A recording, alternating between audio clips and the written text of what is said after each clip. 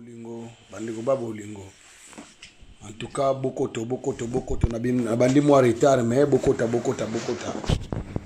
parce que soki bokoti te ezali mpasi bokota bokota bokota je suis en direct je suis en direct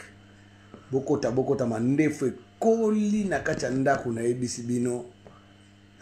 ah, confinement oyo confinement oyo eza grave mpenza donc bokota bandeko bokota bokota bokota ngawa bino selezino naza deja en ligne bokota bokota bokota bokota ngai naozela bokota so bokoti te na kobanda te hmm, ya jaki kanza kota deja kota naza en ligne kota naozela 10 minutes so bokoti te nga mpe nabimi na ngai Bandeko bokota bokota bokota bokota les regards masolo ye ya minene bokota bokota bokota masolo ye ya minene e eh, bozokota kaka te bon nayebi ke bokota na bino ntango mosusu bowana mwa distrait naye te eloko nini ezoleka libanda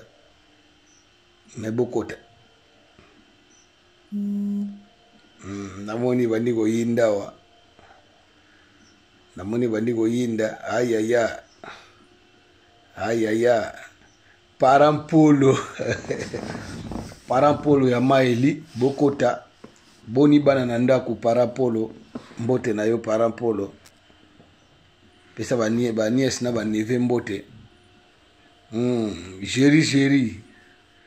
Oh, Jerry, Jerry, toi, tu veux que je parle en français. Mais je te dis bonjour, je vais parler en français de temps en temps. Hum? Jerry, Jerry. makambo eza minene makambo eza minene jeri jeri eh, lamisa mampuku mbote na yo bonsoir eh, blandine kiyila mbote na yo eh, obini para masa azali kosekisa yo na comprendre te para mm, para mpolo kishasa mawa mawa bino mbokendaka kuna te bazo baboya tosala union fe na force biso tu totelema tosigne bango bino te bino biso omona bokimaka na bino brigitte teka brigitte teka mbote na yo Hmm, restaurant ekangami ye moya tolia babalene eza te banini banini me didie lacoste epesa ye mbote soko aza wapi na miniti oyo nayebi te aza wapi ye so didie lacoste aza wapi na miniti oyo ah. voilà uh, voilà quoi namoni moto moko atindeli ngo désolé désolé soki nini nayebi te ah. c'est pas grave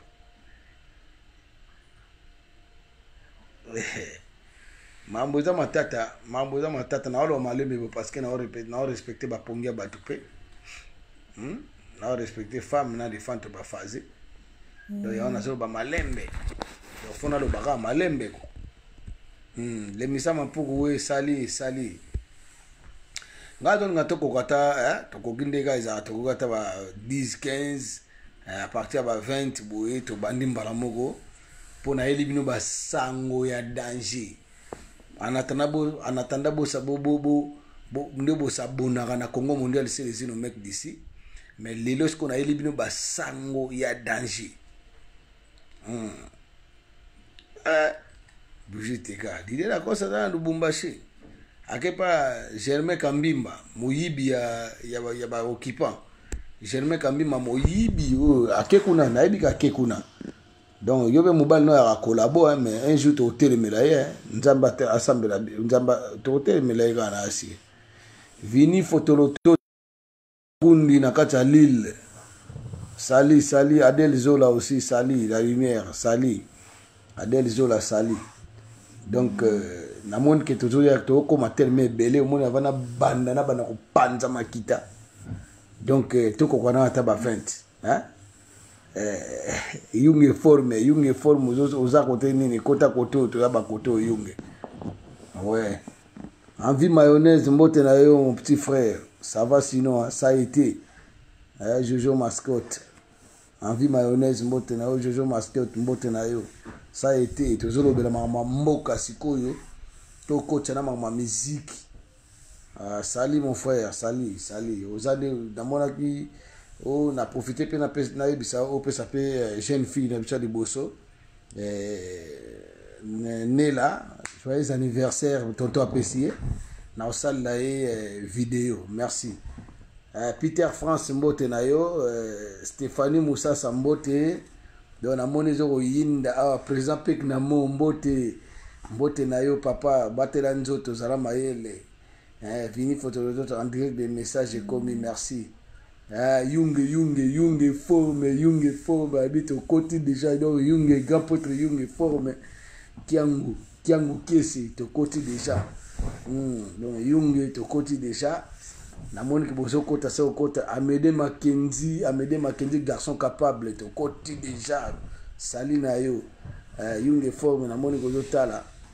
donc ekozala somo somo lelo donc lelo sikoyo eloko nazoyebisa bino ke tozala na comportement ya ba ya baobservateur te aluta continua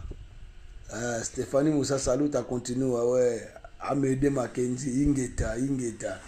donc tozala na lelo mpena tozala na oyo babengaka na badiscernement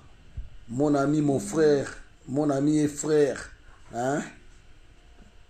oh yo preza peke yo ntina wana banda deja bo yo yo oh preza peke nakoloba ko nakoloba tokobanda mon ami ye frère baudelaire lisasi nakobanda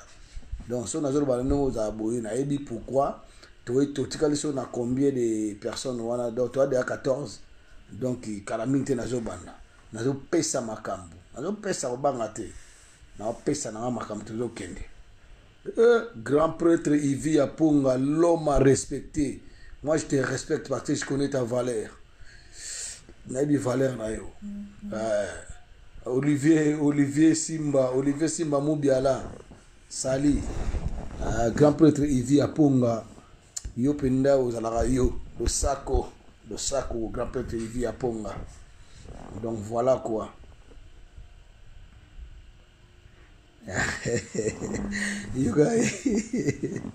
Eh, de mputu nzuzi kusoma le président le, Moïse, le véritable moïse de sauveur ya njili ezalaka yo bana mosusu bakosaka awi ah gapate evi ya mponga nazoyindisa kaka don eyinda kaka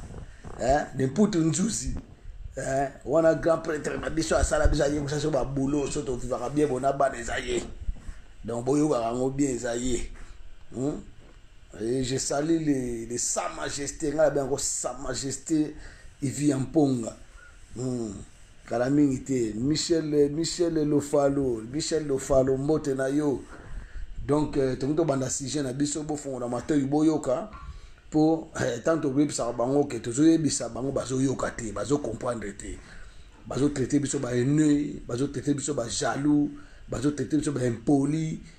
bazo traite biso ba nayebi te ba traita biso tout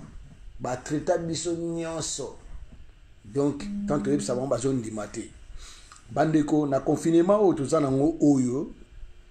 yoko olivier simba sisa bidimbu palola oui nakopalola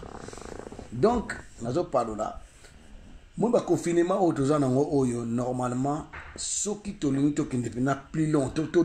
toplonge mpena na kati ya baidee tokende nango mpena ti na suka bon boeskize ngai eh, uh, michael ofalo merci merci mon frère sali à toi aussi njoli donc eh, likambo oyo ezali awa nangi naloba likambo boye donc eh, eza ya mawa mais soki eza ya solo Jui Mutetela mbote na yo mon frère. Donc likambo yango soki eza ya solo so eza ya sote so eza ya lokuta en tout cas bandeko nayebi te mais bolimbisa ngai na kuna na bengi nayebi te bomeka nao kotuna ba renseignement eh, ezopesa mpasi mingi na motema ezo eh, nakoloba nini donc oyo ekomi likambo tokocomprendre lisusu te bayebisi biso ke vie mosengo oyo azala na salon na château rouge akufi vi mosengo mosengo oyo azala na salon ne mai ndombe na chateau rouge akufi mais toyebi te ça reste à vérifier soki ya solo soki ya lokuta toyebi te mpo bato mpe bakoma bakosela bato mpe liwa trop donc voilà ngai na koloba vie wana parce que nayebi vie wana aza mpe patriote vie wana euh, asololaka bien vie wana euh, ayebi kotya bato à l'aise yango nomoni napesi li mpe eh, likambo soki ekomeli ye futa olobango mais bon bamisusu wana ba, ba, ba zari ya son zari ya son mbote okito mpongo mbote mbote na yo donc bamisusu wana moi je m'en fous euh, je peux pas leur je peux pas leur euh, prononcer euh, euh ces, ces difficultés bakufa nango nde bakufa bakontinue kozala toujours na bakidiba na bango bafingi bacombattant bafingi barésistant ba bazobosana ke na mboka nyonso oyo ezotambola bien te baresista batelemaka meme na france oyo tovandaka baresista batelema meme na france baresista batelema bamboka nyonso mpo bazwa légitimité na bango bazwa souveraineté na bango donc bato batelemaka me oyo ya biso lelo tozo comprendre te so kongola akoma zoba soki ya ndenge nini toyebi te okoyoka kaka oh non ndenge eza bongo Eh, bokanisa nini boza bajaloux bozongisa na bien sikoyo boyebisa ngai bandeko na ngai epuis nde naosolola bo nalingi botuna nga baquestion parce que tokodecortike ensemble boyebisa ngai bandeko na ngai nde toza boye sikoyo patulusa patulusa deux fois te Arly Boko, Arly Boko kota masolo ya minene botunaka pe ba question Bibiche Mustapha mbote na yo. Botunaka ba question eza te nga na bando loba loba loba kaka na kokisa une heure na koloba à la après na vandi te. Faut botunaka pe ba question so botuna ba question hein en tout cas au sala bien et au faciliter biso to décortiquer to développer ba histoire bien. Pour toi na nga na 4 sujets na elia 4 4 sujets nayeli awa nazolobela bango bon boyebisa ngai ntango biso bacombattant résistant tolobaka ke non voilà nde toza boye totelemela bamusicien parce que bamusicien baza mieux placé donc to batout artiste congolais aza mieux placé ya kopase message na monde alors akopasele message ndenge nini Oui, ba question eza ebele fo tuna na yo eh, bibishi fo tuna donc mutu akopase message ndenge nini mutu akopase message na ndenge ke ndenge toza boye boyebi yango bien yaniki lienga bonsoir donc ndenge toza boye normalement lelo musique na biso donc toloba neti lobi lobi musique na biso ezalaki danger parci par la musique na musique ezoyoka na monde entier me toyaki na kati ya baloyenge to kobinaka koboma mabala masanga epuis bakagame wana barwandais wana kagame aloba yango moi je comprends pas, je comprends pas l'homme congolais Peuple Mokonzi, Peuple Mokonzi, Ipo Aiza, Ingeta, Ingeta mon frère. Donc moi je comprends pas l'homme l'homme congolais parce que ba congolais masanga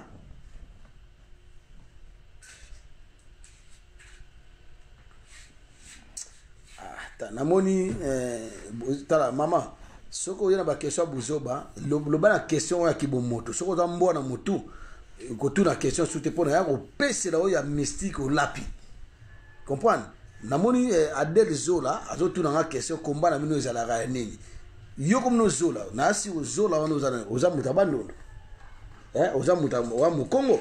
donc ntango nini totuna ke o oh, komba na bino ya nini nayebi te soki oza na nie na motu na wana baplante wana otie soki oza nini nayebi te komba na biso yo yebi komba tobundaka soki eza ya nini te eh? obi oza na liboma maladi ya moboma ya motu na yo eh? nga so otuni question mabe na orépondre yo mabe eh? ozotuna komba na bino ezalaka nini yo oyebi ti babundaka nini te Eh, eloko oyo ozalaka nano na sa makolo wana nde oza nango oyo bayoniokola bato mosusu na kota babeni koviole bango so baviole okomona malamu ntango biso tozodefendre mpo na koviole bazoviole bato yo otina so komba na mino ezalaka nini wa maladi na moto ya mbala suko so question bien ekota bien te nga kuna blokaka na nga bato te yo moko bloke ngai bloke nga mpa na yo kuna tosolola su te na makambo ya bozobo totuna nga kizengi comprendre oh. donc richard kunku mbote na yo naleki na na besoin ozokisa réponse oyebi so tobundelaka nini yo lokola omontre so tobundela oyebaka eloko tobundelaka te kasi zonga kuna kaza mboka wana zonga na mboka wana mema bana na yo na mwasi na mobali na yo bokondo vanda kuna hmm? oh. oza tona bakestion noko kizengi moko boye hmm? te ivi ya ponga donc mutu fo mutu fo yango to bazoloba bakongole bazoba mpo na bato ya boye eh? oyo eza kofinga te eza kofinga eza nafingi yo te nayebisi yo bamama oyo baviolaka bango kuna na ngambo kuna vanessa vanessa mbote na yo elwa mwanda mbote elwa elwa obunga elwa elwa obunga abel ndombasi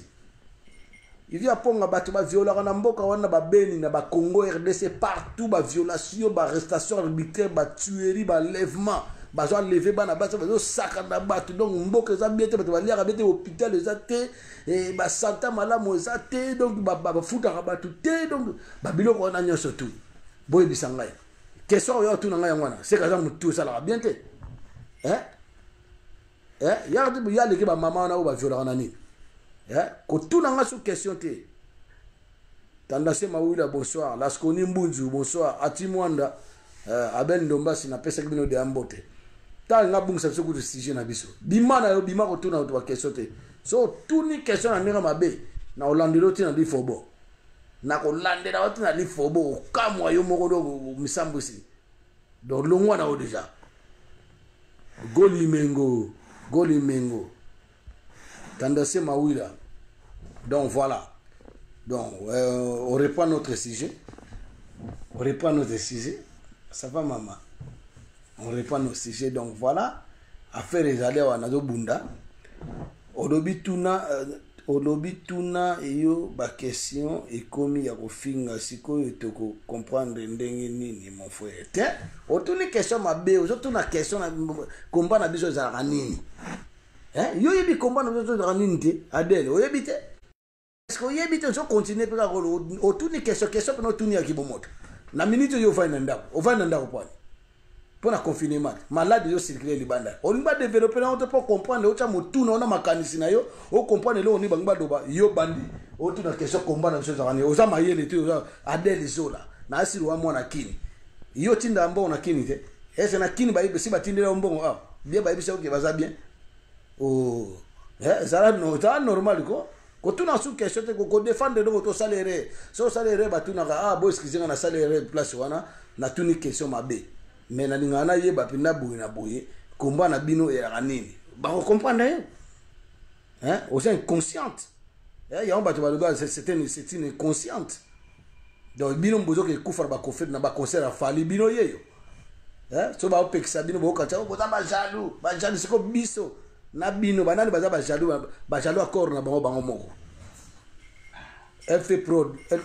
FK Prod mabu kabundi mbote na yo bon tokomaki na sujet ke tokonga totuna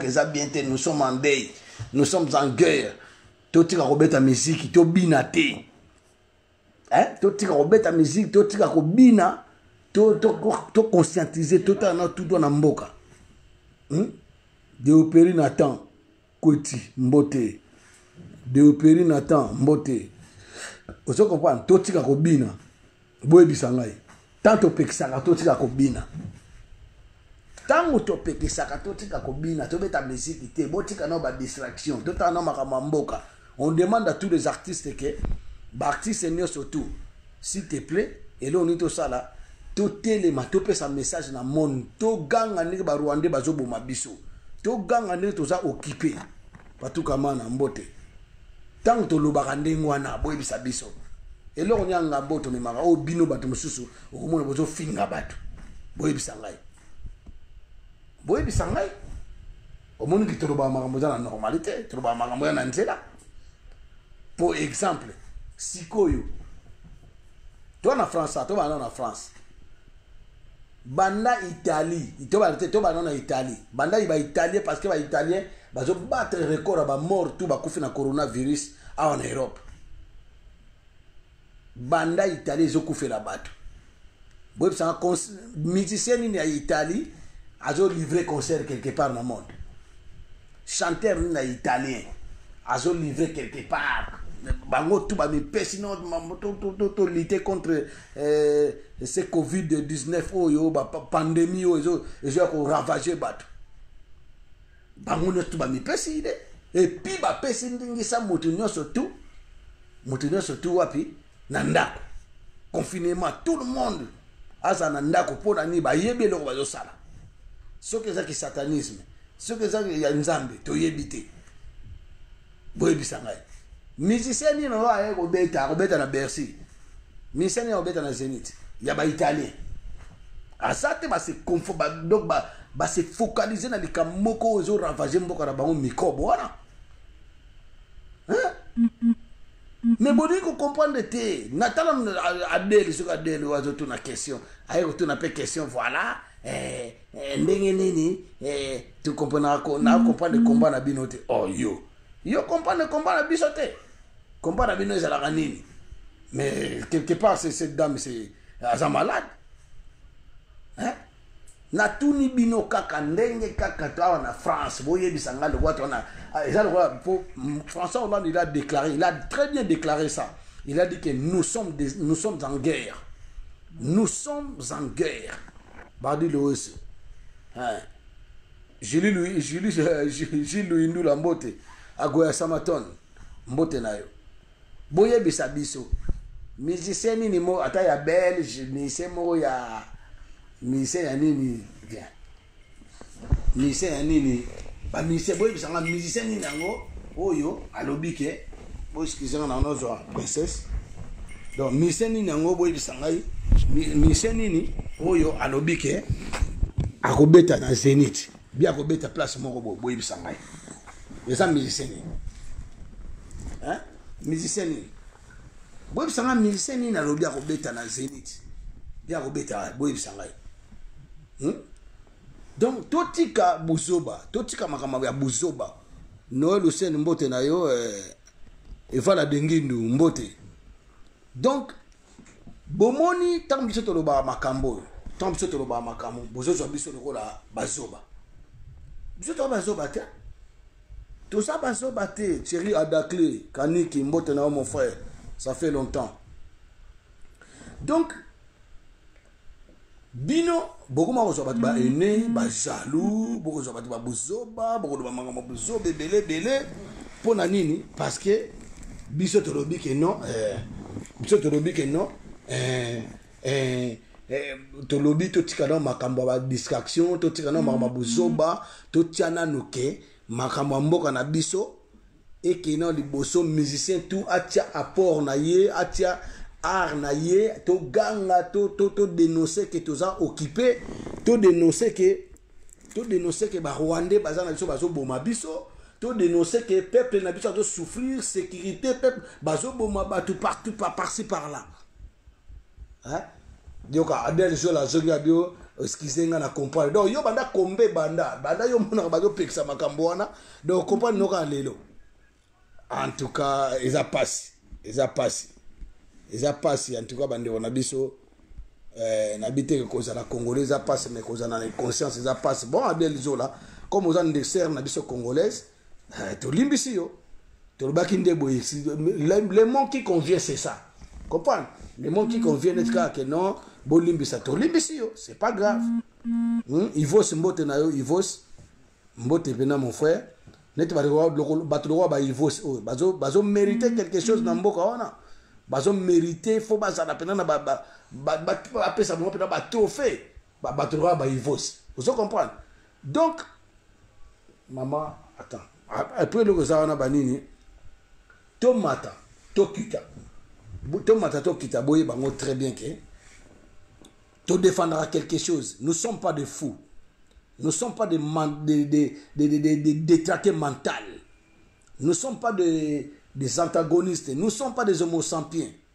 nous sommes pas des euh, namoni euh, euh, dero euh, euh, dero ka dero kankour apesi nga mbote mbote na yo mpe papa donc mampokolo ozo comprendre donc tomata tokita nde nayebisi bino ke nous sommes pas de donc tokobundaka na mboka oyo nakopa te ye abundaka mpo na congolais azala bien nana ngo abundaka mpo na congolais azala bien bibishi na comprendre te ozo comprendre donc biso nde toza boye tokotika bitumba oyo te ivos merci ingeta tokotika bitumba oyo te hussein noel nakanisi parmi biso nyonso tu bacongolais nde toza boye nde tozokota nde na osala awa nde tozosala direct a parmi biso tu nde toza awa nakanisi mutu moko te oyo amonaka bonheur ya congo aza te mutu moko amonaka bonheur ya congo aza te biso tu tosufaka kaka ah merci bibis merci meje kamoka meje kamoka mbote ingeta laskoni ingeta ozo comprendre donc biso toyaka bajalois bato te on demande que à ces artistes là y compris et moi on demande à tous ces artistes tozala bomoko tozala na parole toganga mboka na biso ezonga na maboko na biso moko parce que mutu oyo bobengaka président biso tokanisaki ya ye mpona akota ata na je malgré ndenge akomelaki na kitricherie magi akoma ata mosu akoki kobengana barwandais lobi asala so likambo moko boye mais non moto wana akomi akomi nde moto na bango mais non mais non ezalaka te tokotele bababi ke ah ozoyebisa dele ok merci asa comprendre asengi mpe baeskise so mpe acomprendre ya solo to ya lokuta toyebi te me motema na ye kaka moto eyebi soki azo comprendre te un jour bisika acomprendre ezala trop tard ekozala trop tard donc yango wana tolobi boye tomata tokita toye sikoyo na sujet na biso bozela nano site mpe na kiti ya princesse na kiti ya princesse asala ya papa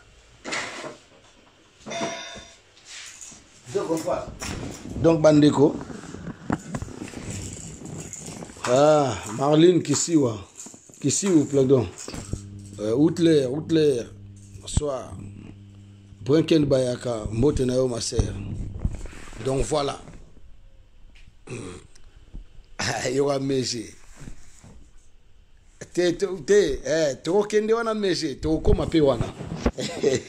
tokokoma mpe yango ya babike so bazoyebisa bino makambo fo boyokaka ntango bozoyoka te bando kutana po donc lelo awe ah akoli ko akoli akoli hmm. donc hmm. ah voilà partout patulus auti oloba yango abi congo na biso ba million de million de bamort mais moto alobela yango te tout le monde silence de mort mais lelo oyo tala tala nini ata seda pa oto ah. ah seda merci merci liangi merci donc sikoyo Congo na biso ndenge eza wana biso kaka nde fo tobundela yango so bazopekisa bino likambo bokende te eza te mpo na balingi bino te eza te mpo na bazokota bino bajaloux mbongo mbongo na yo moko me tozopekisa yo kokende te se tukipanda mbote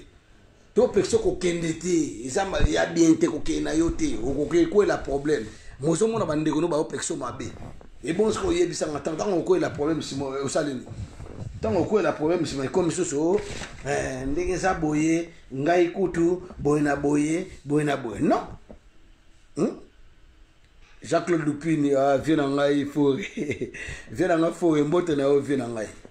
hmm. ça fait longtemps kala mi kala to hmm. vie na ngai jean claude lupini papa responsable donc voilà quoi wana yaki sija liboso natuna ye bino moto azongisi nga réponse aza te france belgique italie bawana nyonso nani azobeta miziki parce que baa na bamort sikoyo mboka eza na dei mpo biso mboka na biso ezalaka nango na dei banda kala koboma bato barosi bakufi baterese kapangana bakufi mpo oyo babimaki na libanda badeklare kaka droit na bango mboka ekoma bien nzala bato bazoreklame misala bopito bainsécurité kuluna baujana bazobotama babiloko ebele ya mabe hmm? oui se tokipana na toyebi yango tobe toverifie nso ya solo soko eza ya solo confirme biso yango mpo na vie na biso mosi mosengo vie moko boabundi petro donc voilà donc bandeko tokoma mpe bato tokoma mpe bato ata biso tokozwa bonheur yango te oyo hmm. donc ata merci eh, tokomonana kaka vie na ngai ata biso tokozwa na biso tokomona bonheur yango te ya mboka wana omwe tobunda mpo na bana na biso lobi batikala na bonheur mpe ya bien ezala te ke bana na biso ezala ke lobi bakomi na bango bawumbu ya barwandais mais non ezalaka te alors bandeko wana ezalaki premier tomoni tomoni musicien moko te awa wewewewewe eza ndenge wana ya ndenge wana donc vieux mosengo akufi bon ma question na me repose en paix parce que azalaki moto malamu azalaki patriote abundela mpe mboka na ye donc voilà quoi donc tomoni nde tokoloba te mwana alingi nga mema ye donc nga na choix te mwana na ngai donc sikoyo donc ndenge eza wana vouloir ou pas eh, yoka okomeli nani kutu ona samuel maestro samuel maestro samuel samuel samuel maestro mbote na yo papa mm. donc tozosolola heure tosisa tosisi mais botunaka mpe baquestion nde na moi bato mosusu baotuna baquestion eza bien ye bandosala biso mwa bien ya kodekotike banzembo banini donc tozokende se kokende eh, départ na marois rams donc voilà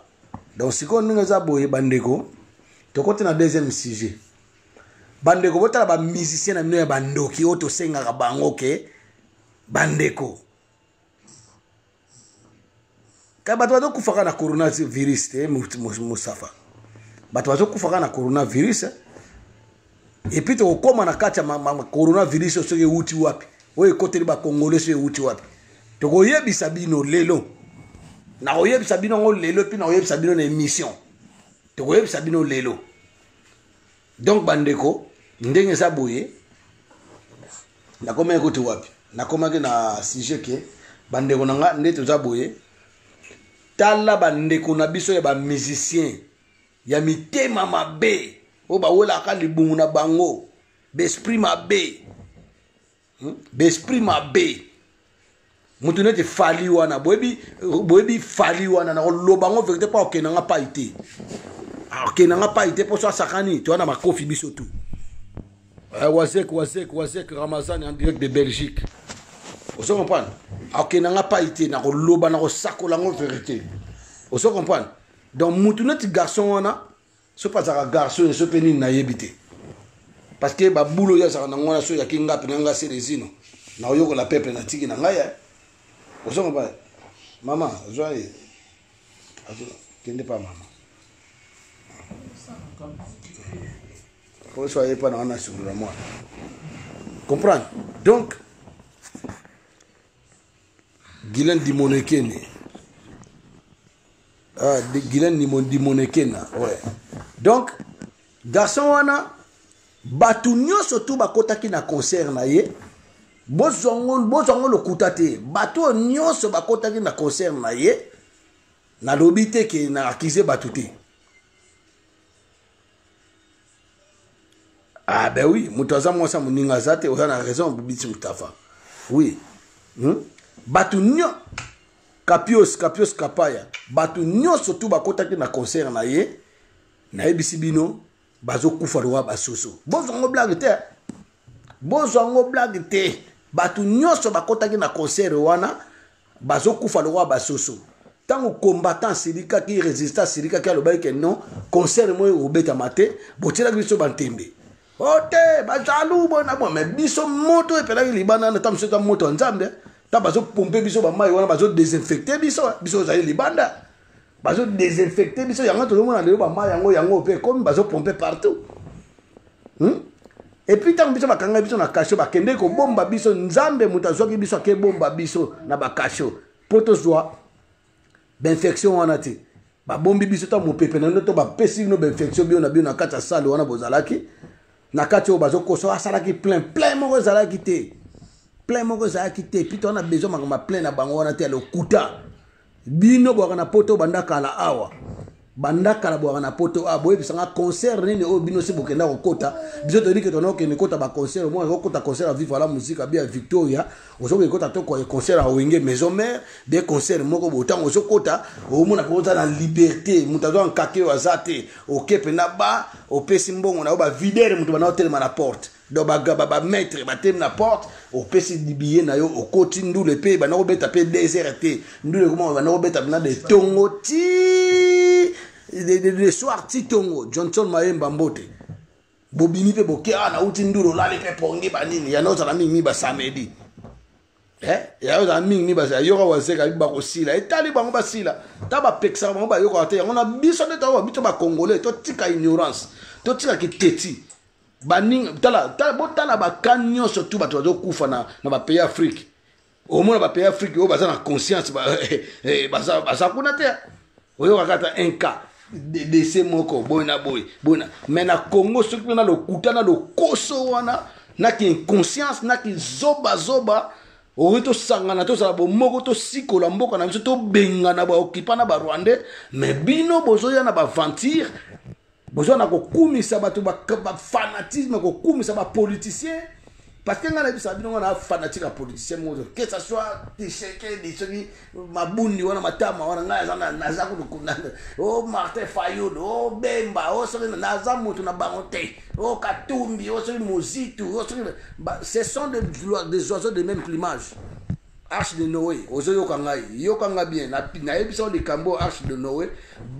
nasi nasi avant tokota avant tokota avant tokota ngo 2020 nayebisaka yo nabenga yo nayebisa yo tala mambo osala osala oza yuma ozo comprendre mambo osala te opesi nga raison lelo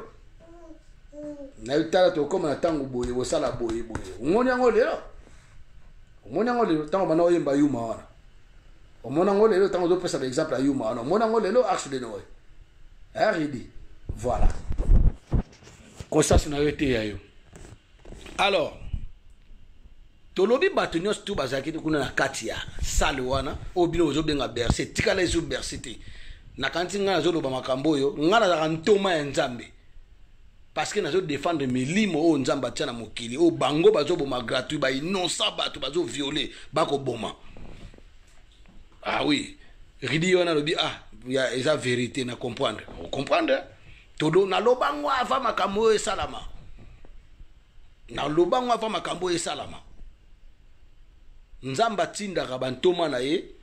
bokomprendre te katindeli bino ntoma ata mosusu bino mokokanisa no wana moto moko boye selezino moko boye mpo bamisu mpe batraita jésus voyou batraita jésus voyou parce que jésus ayaka asali nini apanzi biloko wana oteka na ndako ya tata na ye na ndako ya nzambe ozo comprendre donc omoni namoni eh, samuel alobi ke vérité vraiment ta raison mon combattant c'est voilà donc fo tondima makambo mosusu bato te eza nzambe moto atindi alobi ke no boyebisa bana ya nzambe bakende concert wana te ça va se passer quelque chose là-bas donc omoni boza bazalaki envoute ebele namoni pasteur mo na réseau sociaux azopesa témoignage pasteur wana alobi ke non ndenge ezalaki boye mm. tozalaki kuna na kati tokomprenaki te pa, aza pasteur eh. bo bapasteur comme bapasteur te mayebi kaka aza frère nde baloba abie bamonisaki ye vision lokola na kati ya bercy wana mpe etondaki te bercy yango sur 20 000 place baki na 650 place la vérité eteti la vérité eteti bolanda te o bercy bercy mpe akosala promotion na ye eh. akosala mpe promotion no ndenge eza boye tosalaki boye lokuta boyebisa ngai na ndenge bambila bayaki wana ebele ebele eloko nasotaki na biki na kala marie jeanne kiwolo na kala ezalaki soki moto ayoka ekota mboto na yo marie jeanne soki moto ayoka ekota concert yaki nango librement passage libre oke okoti na yo obimi na yo mpe lobi oke na yo bon concert oyo ya ndenge nini bambila batondi ebele Vous n'avez pas compris quelque chose hmm? Vous n'avez pas compris quelque chose que voilà, Bambila batondi ebele, wabata Bambila batondi ebele. Pour na kokota ekomi ba kota ba na mudaye conseil ba comprendre tout c'est confondu. Hmm? Toute présence de personnes là-bas c'était déjà confondu, bozo ebate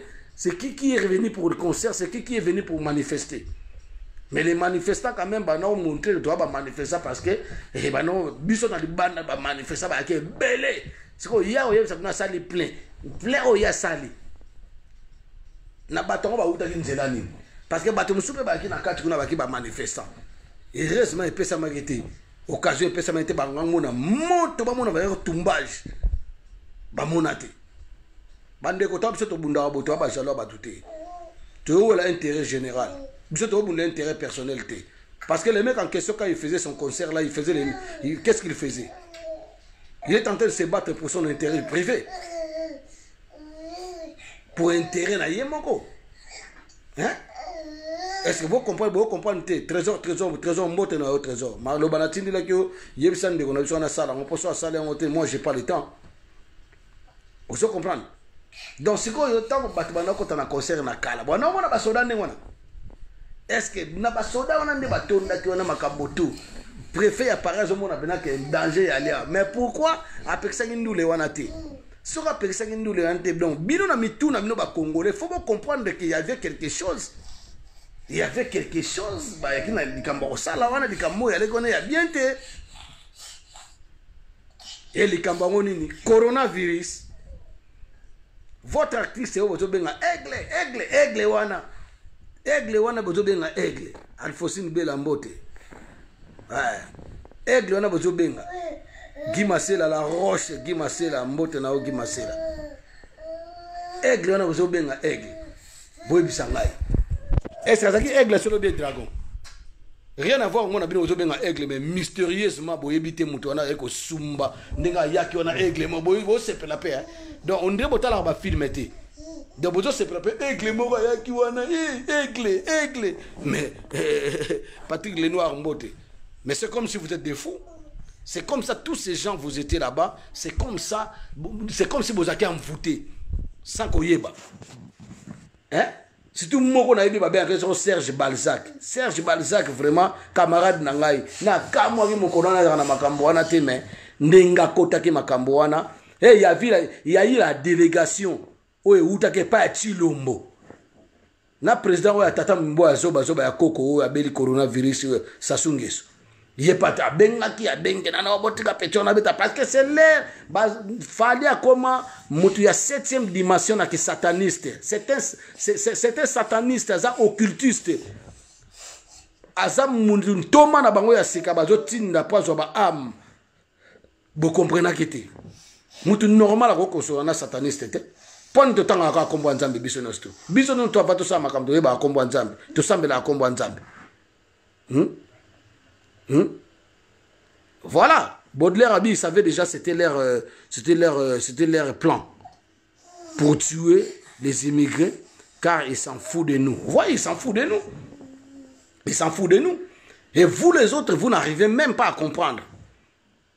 e dis toi ntango basoda wana batondaki wana estce ntango azo basalaki plein bia abeti concert obeti concert te c'est comme si oza na camp kokolo bie camp chachi bie camp lofungula ozobeta na kati kuna basoda basécurise partout oyo eza mpo na peuple te hmm? Jed Manouoe, vous savez ce que vous êtes en train de faire. Vous savez ce que vous êtes en train de faire. Hein? moto nyonso tuna mokili akokufa na ye te oboyi te moto alibende to libanga aza te mais ntango ozovivre fo oyeba nzambe ntango ozovivre biso ata bolobaka oye oh aza na masumu afingaka te ngai nafingaka na esprit de dieu parce que je suis en train de défendre je suis en train de défendre quoi je défends bapeuple bahumain gisel aimé eh, nazodefendre bahumain bapeuple oyo baza bainosa oyo nzambe atinda na congo bakomi koboma bango bapeuple nako bata mosusu banda botama mona ne diamata mona coltata mona nebium te amona eh, eh, or te amona cobalt te mais bozo parvenu koboma ye na machete surtout na beni na banord kivu bazoboma ye bazoboma ye ozomona bazoboma ye bosiko toloba toloba te linda nzinga ntango sikoyo tozoloba boye bozozwa bato neti bazoba bozofinga bato omona moto moko mpena alamuki mpena azomona moto oyo azoloba makambo mpo nga so moto azoloba makambo ya solo nakoyeba emonanaka te toza bato au moins ntango mosusu oza na na cerveau te na place ya bacerveau oza na base te bien nie Hmm? ubie ntango mosusu oyokaka na nzela place bato bapentaka mokinza ubie ntango mosusu na mapeka na yo nayebi te donc ozomona vraiment ke bato oyo jise liboko vie na ngai bonsoir bonsoir nzambe atombela yo sante malamu abatela yo abomba yo kitoko comprendre adele ngai naye apo na badistraction te ngai naye conscientiser je suis un mobilisateur je suis un conscientisateur donc soki so osengaki excuse osengaki excuse adele si elekaki koloba te malgre ofinga ngai nafingi yo te na qualifie yo natunaki yo mposa na nafinga yo soki nafingo mpena ya bien okoyoka yango mpena nde nafingaka mai nakofingo te parce que tu ma rien fait otunaki question moko eza banal soki okenda classe tuna banalité so elakisi nini va sur le dictionnaire fongola dictionnaire parce que biso toa baintelo nga nakenda classe mais les gens qui, qui, qui, qui me prend pour un voyou pour un illettré eza problème na bango comprendre mais moi j'ai été sur la barre de l'école je sais discerner je discerne bien ozo comprendre donc tika otuna nga bakestion apa ba biso tozo évolue na masolo na biso vgc liboko aza wana azoyoka namoni samuel mpe azokoma tuna question ya malamu tuna question sikoyo tokoki kosala nini sikoyo to ndenge nini tokosala mpo na mboka ndenge nini mpo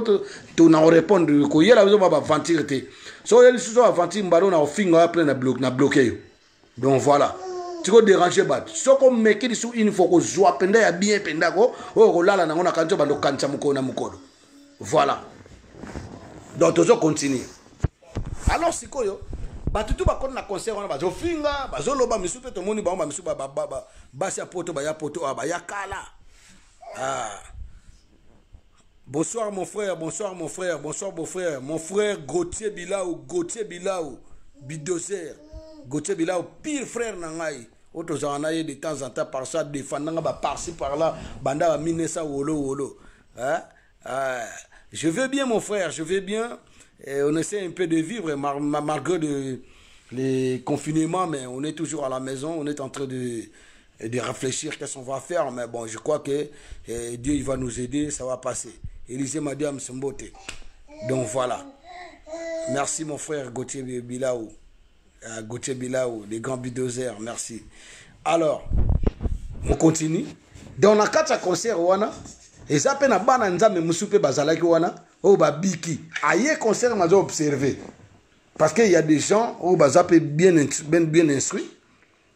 baza merci merci gautier bilao merci donc aza wana azotala azoobserve bato mosusu mpe baye wana baza bato bavision hmm. de panama patrik mbwakana nokwa bacloe oza fort awa motema mabe parce que banda cloe abotami abimi mino akomi otambola oye mpe te osenga na baadresse oye pe te osenga na ba adresse oye na yo te mais eza mawa to bongo sikoyo yo mokolo kozala na oyo ayo likambo sikoyo biso toya mbala moko ta mosusu towumela nao mpo toya donc eh, vraiment wana libanga likwei na lipapu ya ndeke en tout cas korubo koseka te voilà euh, pams pams pams donc eloko tozobeta lisolo ya, ya concert wana lisolo ya concert wana suite na yango ezali bocomprendre ndenge concert wana yaki plan marchevique plan moko mpena très marchevique na ba na ba idée moko na ba na ba na ba monde moko ancestral bayaki bamvute bato bato bakoti elingi ebimisa kutu bitumba me nzambe azalaki na biso biso na biso bakongole tobundaki te me nzambe ye moko atindi moto na ye ya danger moto wana ebouleverse bato donc edisperse bato bango moko batindi bato na bango baoyo bomona basoda oyo baki libanda na yaki basoda oyo bana bapompe biso mai baza baangelo ya nzambe bazodesinfecte biso mpo na mikrobe oyo coronavirus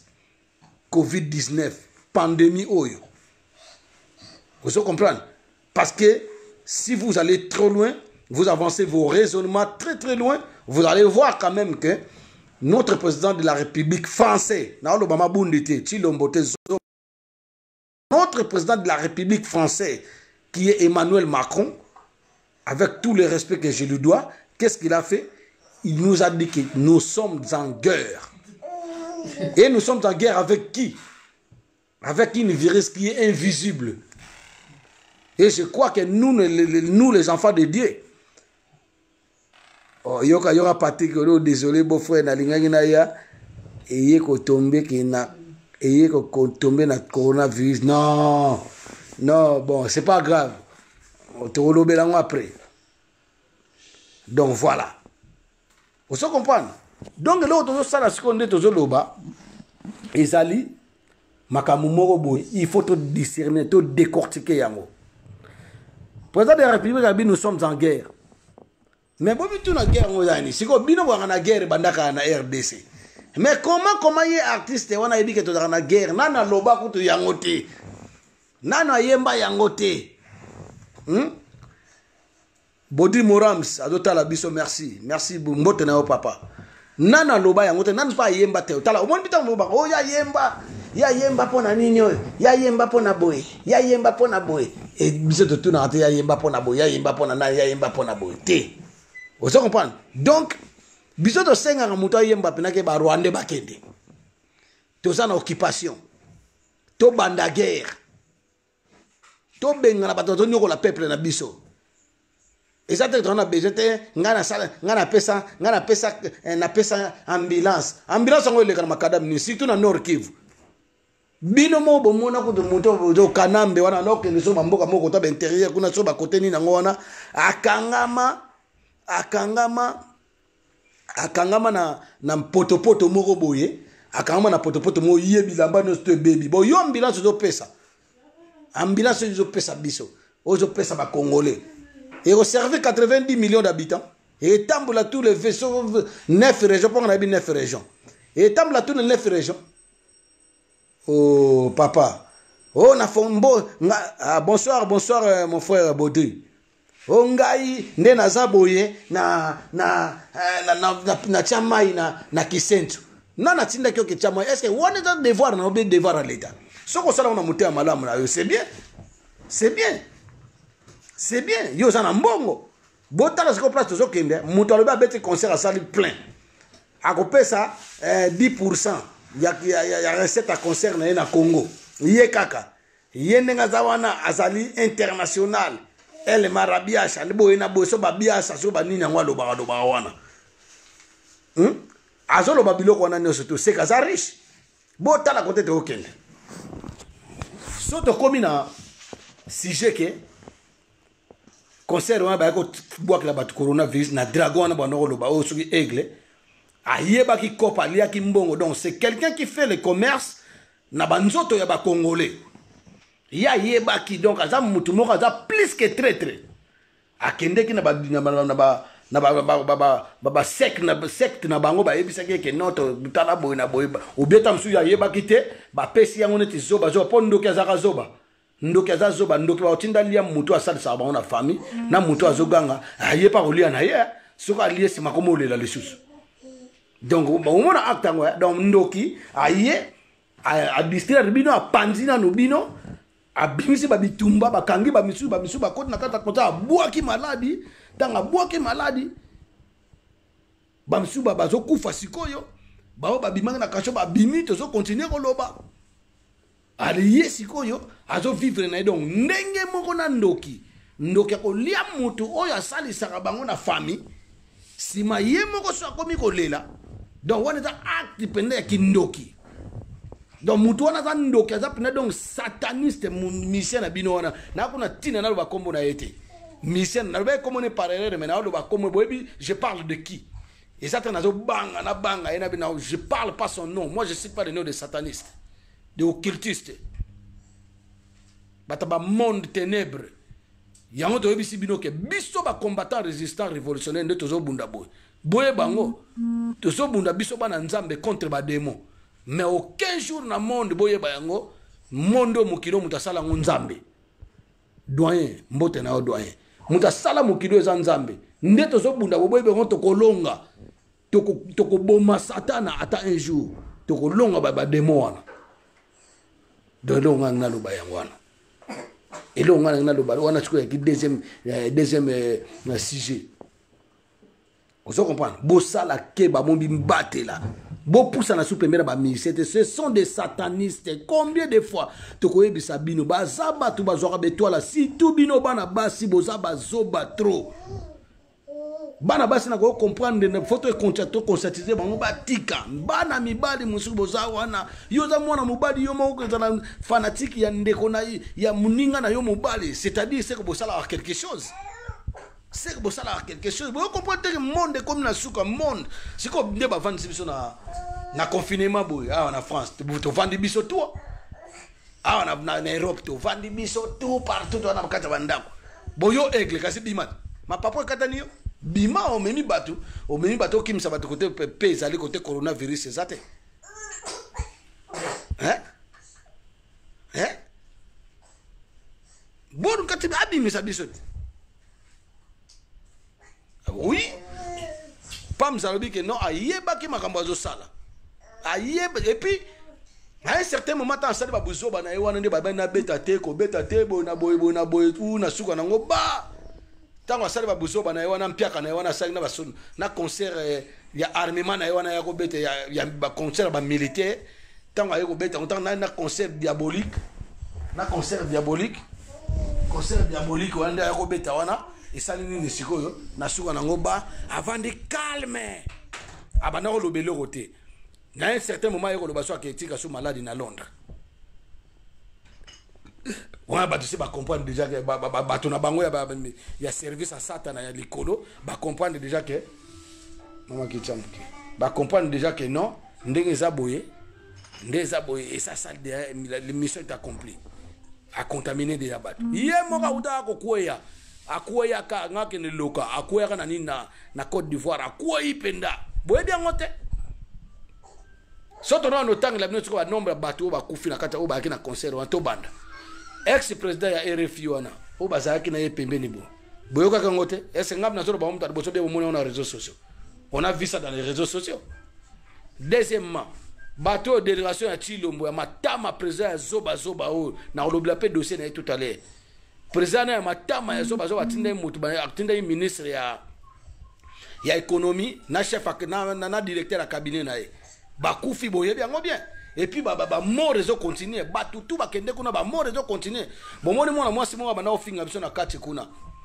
bakoselaki ye makambo oyo akufi na ntangi nanga nkombo te bo bango bakoselaki ye makambo akufi mais so akufi so akufi te wana ya mokano ya nzambe mais nde toyaka na mwana mwasi yango na kosambela nzambe abikisa ye nzambe alimbisa ye na oyo abanda kofinga bakombata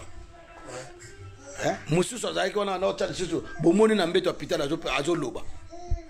toyebi te na lere oyo soso akufi bi azali me baza bikele mwanzana tokosuko te baliwa na bango te me so bakufi mpe etali bango hmm? ata bino moko toloba toloba te totikaka bandeko na biso bakufaka na bango lokola basoso nauta koloba awa na bi moto akotikala libanga na mokili ya te biso tu tokokufa mai quand même ntango tokufa okokufa na ndenge moko ya bien mon frère adelar menga bonsoir bonsoir mon frère ça fait un bail je te vois plus mon frère ozo comprendre babiloko ya bongo toloba toloba te bandeko hmm? en tout cas na kanti nazo expliquer bino très bien ezalaki concert moko ya envoûtement politisé donc aucun concert na monde bomona ezalaki ata maître gims abetaki awa na stade de france basoda bayaki ndenge wana te basoda bayebaki plan na bango makambo bazosala bayebwakela bacongolais na baafricain nyonso bayebwakela bango coronavirus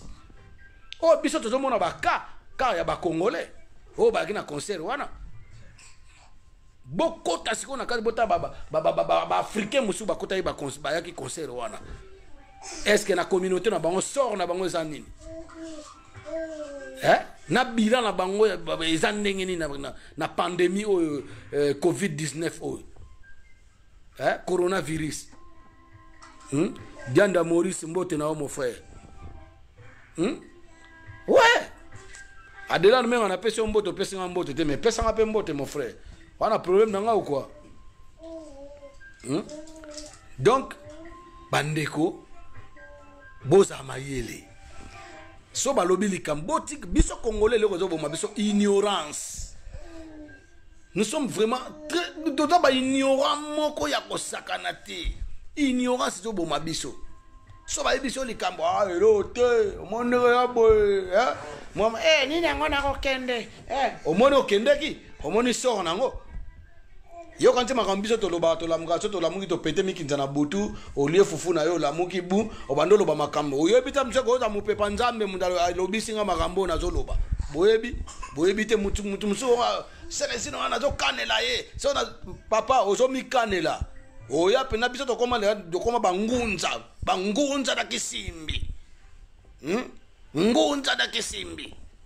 dienda merci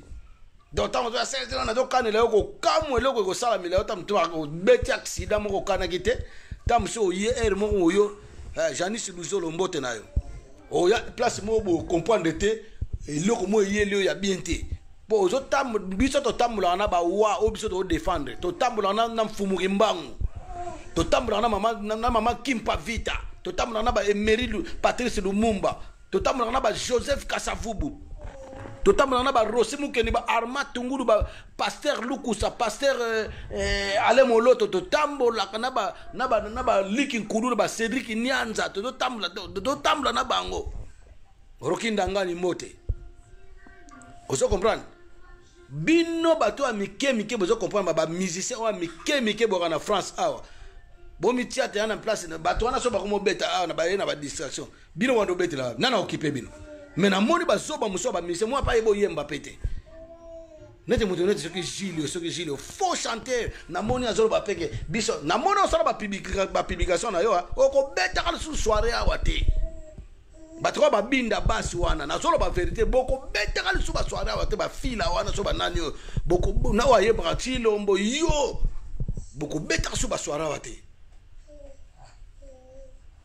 ozo comprendre parce que trop c'est trop totala bino trop sikoyo fo tosilana na bino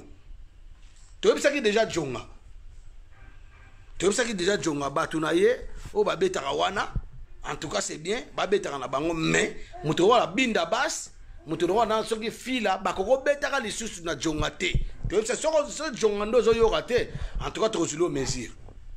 suite olobaki yango mpo awa na france balobi activité culturelle moko culturelle moko congolais ekosalama lisusu te soki esalami basinale ya biso deja soki esalami tokende funda ntango tozokende funda baye bakangi eloko na yo mpo bakoboya na bango moto epela lisusu mpo banani akofuta badefense wana nyonso boyebisa ngai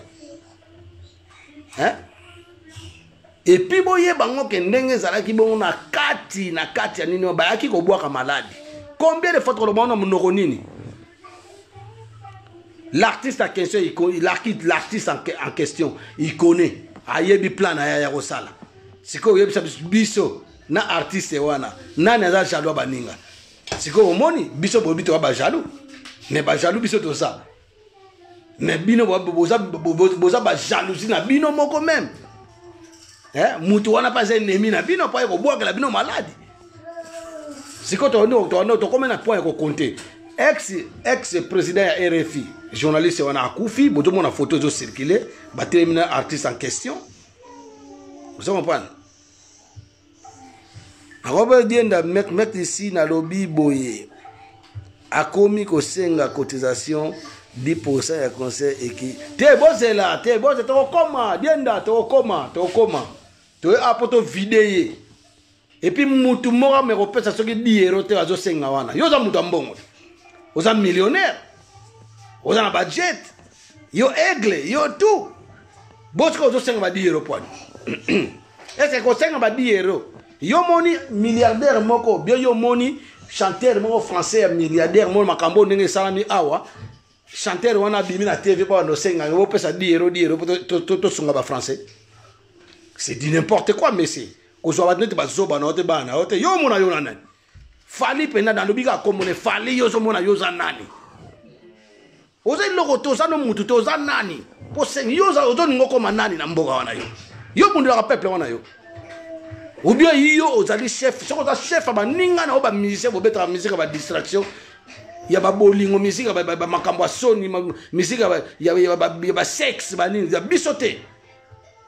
biso toa peuple tolingi siko mboko na biso ebonga siko bien doyela mbala suku osenga mutu moko me kotya mbongo te soki oyebi mutu azolinga tya mbongo epai ya fali mpo na ndenge azodi yo otya mbongo na carte bank otya mbongo na carte bancaire na ye en tout cas ndenge otya mbongo na carte bancaire na ye est ce que boyebisa ngai mbongo wana oyo bino kotya na carte bancaire na ye place ake livrere yango bino boyebi akopesa ngo na maboko ya nani mboko etonda banda na sommet de la nation ti na se miyibi na miyibi ba 400 millions ebungaka ba 15 millions ebungaka ba deblokata 6 millions mpona fete ya alternance ebungaka eh? bosikise ngai boyebisa ngai dire arrêtez de prendre les gens pour les gamins arrêtez de prendre les gens pour les, les, les, les, les connards ou des ou des bolos aussi longtemps que toi même tu es un grand nayebi te so motu na yo esalaka bien eyala mbala suka epuis to na besoin ya ba to na besoin babiloko wana ozosala wana te tokenda wapi biso to na besoin na yo te les combattants déjà ils parlent pour le peuple les combattants déjà biso bacombattant toa bapauvre toa na mbongo te so toaka na bamakoki mpena ndenge rapela makoki nde nakanisi tolibera mboka wana nde tosomba nyonso te ifaye tosomba mpono tobengana bapaya bino si bolobaka ata mokolo mo babengana bapaya babomaka bato na babeni te bazoboma bato barestation adbilité bambongo ezobunga kuna se boyemba yango eh? makambo ya kongo bolobaka yango te bazoba wana nyonso tu bawazekwa bawera banani bazoba wana nyonso tu bazana balobaka yango te meta makambo ya coronavirus bakomoloba yango bakomi o eh, coronavirus donc osukola maboko boye me bino babomaka bandeko na bino bolobaka te boyembaka yango meme pas to na besoin makambo na bino te surtout zoba oyo ya wazekwa ya mbesili oyo ya wazekwa oyo tama nde furgo ya nyama eh? yo oza moto ya mbongo oza millionnaire ozosenga soki bato badiyero hmm? hmm? opesa ambulance ofongola bamai na kisentu yo kaka oza na oza na baorphelina oyedaka bato mais comment tu te, tu, te, tu te permet de demander le die oyo batyango na compte na yo na zobo oyo bakenda kosala na émission soki marius mounga jour nakozwa yo jour nakozwa yo ngai nalobaka jour nakozwa yo marius mounga jour nakozwa yo na maboko na ngai exemple kaka tala kaka biso kutu alaki wana te mais tomonaki bandeko mo bachargeaki na soki eh, soki nati kolokole soki kolokole wana bachargeaki na ye eh. mais yo sikoyo marius moumba oza ebele eh. boza ebele na otanga nanga bakombo te boza ebele celui qui se sent piqué connaît l'affaire boyebani awa na diaspora naotopanza siatula ah, siatula moto ya bapoison bapesi ah, bango moko bavandi na bango na poto me baluki dossier bapesa dossier epai ya moto oyo soki epai ya olive eh, bula olive bula olive nde azoboma bato bayebi yango bien bula olive azoboma bato me balobi ke bapesa dossier epai na ye apesa bango mambongo bakende lela soki soki kitambala soki kitambala wana oyo akufaki wana mais aussi lota olive atiki bango bongo te eza lokola patron osengi osengi service eza didona dona te du donnant et du recevoir donc yo opesi bapesi yo mpe mission omoni lokola tozokoka kuna te musique ekobeta su te banini en tout cas bino boza bato ya suka tokobeta karte ya suka bino nde lokola diaspora eza mwa mwa teti eza mwa dynamique bokende panzela biso mpoke kuna bomema nini merci na moni janis mpe alobi awa moni makambo oyo olobi ya so otuni bango batuni bango makambo wana ya balkanisation réponse ezalaka te tala makambo ya coronavirus moko ake aza artiste l'artiste qu'il est naki artiste wana oyo aza nango ayeba yango ke soki apesi apport bi apesi discours moko ya mawa na pa ba congolais bakoyoka pe mawa discours wana ekosala pe bien ta mosusu bamiyibi wana bamediorke wana ya politique bakosala nini bamediorke wana ya politique bakosala nini bakosala kaka neti sikoyo bayoka soni bakosala quelque chose mais ye ake kuna akesala baventure na ye oyo asalaka na métier na ye siatula wana coronavirus awa nano ekomi te ifale ekoma tozalaka deja na bavirus na biso ya basolo mapeka bomonaka émission nasala ye bolanda yango na congo mondial se les ino mec d'ici natie en épreuve natie en épreuve ya kiburiki na ye ya kibozoba to na diamba amelaka ngai naye badiamba baboso bamelaka yango mpo na esprit afanda calme araisonne bien hmm? ata bapaster wana tokokomela bango bandeko so nalobi ye fali wana azosenga ke bapesa ye eh, mbongo bapesa ba bambongo mpona atinda na nani ebongo 10 pourcent ya concert oyo olobaki okopesa eza wapi yo osalaki plainte lelo osalaki play yo oza na susi ya peuple koleka biso moto obundaka banda kala biso bacombattant résistant tokobunda tokopekisa bino distraction toyebisa bino bodenonce bomema message na monde entier tozoniokwama bomemaka te yo moko yo sikoyo loko olingi omonaka yo nde oza mpenza donki oleki biso bakombata na, na, na, na, na, na koleka susi ya peuple congolais osenga sikoyo mbongo boki millionnaire okia yo ozaka na jet bokende na ebemba arafat awa te na bakofi wana bino te bokende na baavion bosalaka voyage bomonaka te davido davido aye wana davido davido aye na jet na ye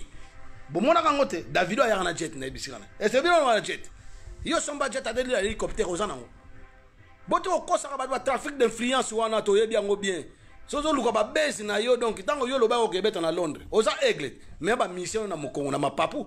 bokende beta na londres bozela nini mpo bokende bozozela nini mpo bokende hmm? epuis makambo mosusu na ya koloba awa te okozonga yo moko tout est déjà fait okozonga yo moko toyeba so bokanga nani ba frère wana omema awa ba famille na bango mpe baza na pasi ba famille na bango baza na pasi ba frère wana omema ye awa donc nde baza wana vraiment loba nanu soit disant ye millionnaire esopi ye ah, etali ye etali ye wana ye millionnaire yo ya millionnaire me mwasi oyo azwaka bakafe oyo oh, soki fabri nganzi soki fabri nganzi apesi 2000 yango akozwila yango abiye moto ya matolo so boyaka na ba 2000 ba 3000 wana banini biso tozalaka nango neti nga se dezo nazalaka nango so na viva nasala mpe na économie mpe na, na lie mbongo te eloko te nakozala mpe ata na ba 2000 ozo comprendre so bozala na bambongo na boyaka koluka kobeta baplay baka ya pwadi mpo nini bosengaka ti lelo bobwakaka badedicace mpo nini mais boyeba banzembo patriotique ngai nayembaka banzembo patriotique nayebwaka na ngai so motu te so na nabwaka motu nakobwaka motu neti dedicace nalobi yango boye na ndenge naosala émission boye nalobi yango donc yo oza millionnaire ozosenga bato badi eloko te entre parenthèse bisinga tozongi nayo nsima na kati ya concert ne mpo boyeba ndenge nini aya kobwaka coronavirus ndoki donc ndoki akomosenga bino su mbongo donc na musa donc aza ndoki abwaki nino maladi akomosenga lisusu mbongo garçon oyo bamemaki wana soki oyo elongi mogugu wana soki konani ko azala na kombo ya mise aka na kombo ya grand frère nani oyo jb aka na kombo ya jb mpe kombo nani nani kotuna soki keni mpiana soki keni mpiana Ken Mpiana wana ayaki a premier ntango ayawa baluba azwi maladi na bino bato boyosala bemission na ye azokabolela bino maladi aza maladi na, na, na, na cinquantenaire aza maladi makasi il paraît ngai alobaka il paraît parce que na vérifie te ntango nazoloba boye aza maladi aza maladi makasi aza na coronavirus atrapaki yango na kati ya concert ya votre artiste la soit disant mpo ngai naleki na oyemba mosika comprendre nazalaka jaloux na ye te nazala jaloux na nini parce que ngai nalalaka na ngai bien nalamukaka na ngai bien na foye na na mwasi na ngai na bana na ngai nalali mpe bien nalamuki do mpe nake mosala nalalaka na ngai très bien donc naa na vie na ngai ya bien bino nde ye nde mutu alalaka bien te amonaka bisimbi ya ndenge na ndenge bajene baji na ndenge na ndenge amonaka biso te ntango ayekeni mpiana na yawa azwi maladi ndenge azwi maladi ake na kisasa ta ake na kisasa nde ake na kisasa wana boyebisa ngai nde ake na kisasa wana sikoyo azobela fort asali bemission na bato ebele nde asali bemission na bato ebele merci héritier visivice asala emission na bato ebele akontamine kontamine bango yango na sikoyo ba mutu oyo azali otere akotisi coronavirus na afrike mpe na congo ezali fali ipupa ye moto ayaki nango na bercy ye moto ayaki nango kokabola yango awa bato bazwi yango na badelegation oyo ya chilombo bayaki awa bake kokufa bapesi bamalade na ye moko chilombo wana coronavirus parce que il a organisé une réunion de conseil des ministres le, le, le, le jour qu'il a organisé cette, cette réunion là akotaki kuna apesaki bango bambote na maboko gan ezalaki te maske mpe ezalaki te librifia mpe ezalaki te donc ça vous demande d'aller de, de, dépister vous-même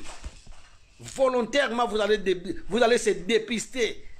et je crois que vous êtes positif déjà moto akotisi coronavirus na afrique les africains je vais parler ça en français donc, je crois que la, personne qui a ramené le coronavirus, mm, mm. c'était l'artiste en question qui est congolais, euh, qui, a joué dernièrement euh, à, à Cor Arena, ex-Bercy. Donc, c'est lui qui a ramené ça parce que, euh, en fonction de tous les gens, parce que avant même ça, les, autorités françaises, ils ont,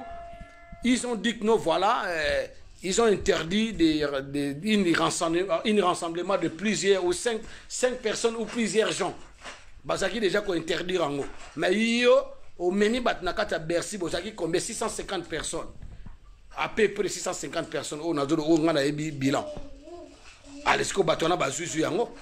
ale resta ken mpiana moto abengaki nga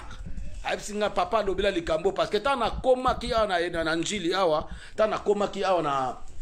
na kishasa parole na ngai ya liboso oyebi eloko nalobaki nalobaki ke ndenge naza boye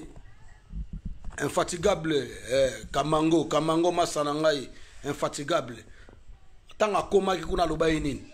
alobaki ke non en tout cas bacombattant baza bato ya kosakana na bango te boloba te efali epopa moto akozongisa miziki kuna esimba te alobaki yango à un certain moment na quelque temps botomona so basalaki ye nini ba achange maloba asali neti afinga boye kofinga na bu alobi banda akomaki sante na ye ezalaki su bien te na minute ya lelo azali wapi dan delta dan delta mbote na minute ya lelo azali wapi fifi bonani mbote na yo mon frère groupe ebungi kaka bona akompane te groupe yango tokosolola sur te nayebi te so likambo nini yango oyo eh, administrateur akangi groupe te mpo ye mpe akomi na coronavirus eh, mpo ye mpe ayaki na concert yango na miniti oyo tozomona ye te tozoyeba te na états-unis kuna azo ndenge nini nameki kobenga ye azozwa te mpo ye mpe ayaki na kati ya concert yango eh. napekisaki aye comprendre après donc fifi bonani bomeka nayo kobenga ye ozo comprendre garçon wana azopesa bato maladi grave na kin azotransmettre yango kotransmettre ya ye mpo coronavirus eza rapide koleka vih eh, eh, ozo comprendre yo fifi bonani ozalaka oyo bate bulo yo oyebi soki bulo tuna ye nanu boso moto ana bulo ayambaka te nga so obenga so naa na bulo nayambaka yo te ayambaka te nako oyamba mpe abina orapele bino mpo na boulot bulo nini azokende mpona états-unis kuna kutu ezali kutu bato ya liboso banofanda na ndako bango bulo nini azokende hmm?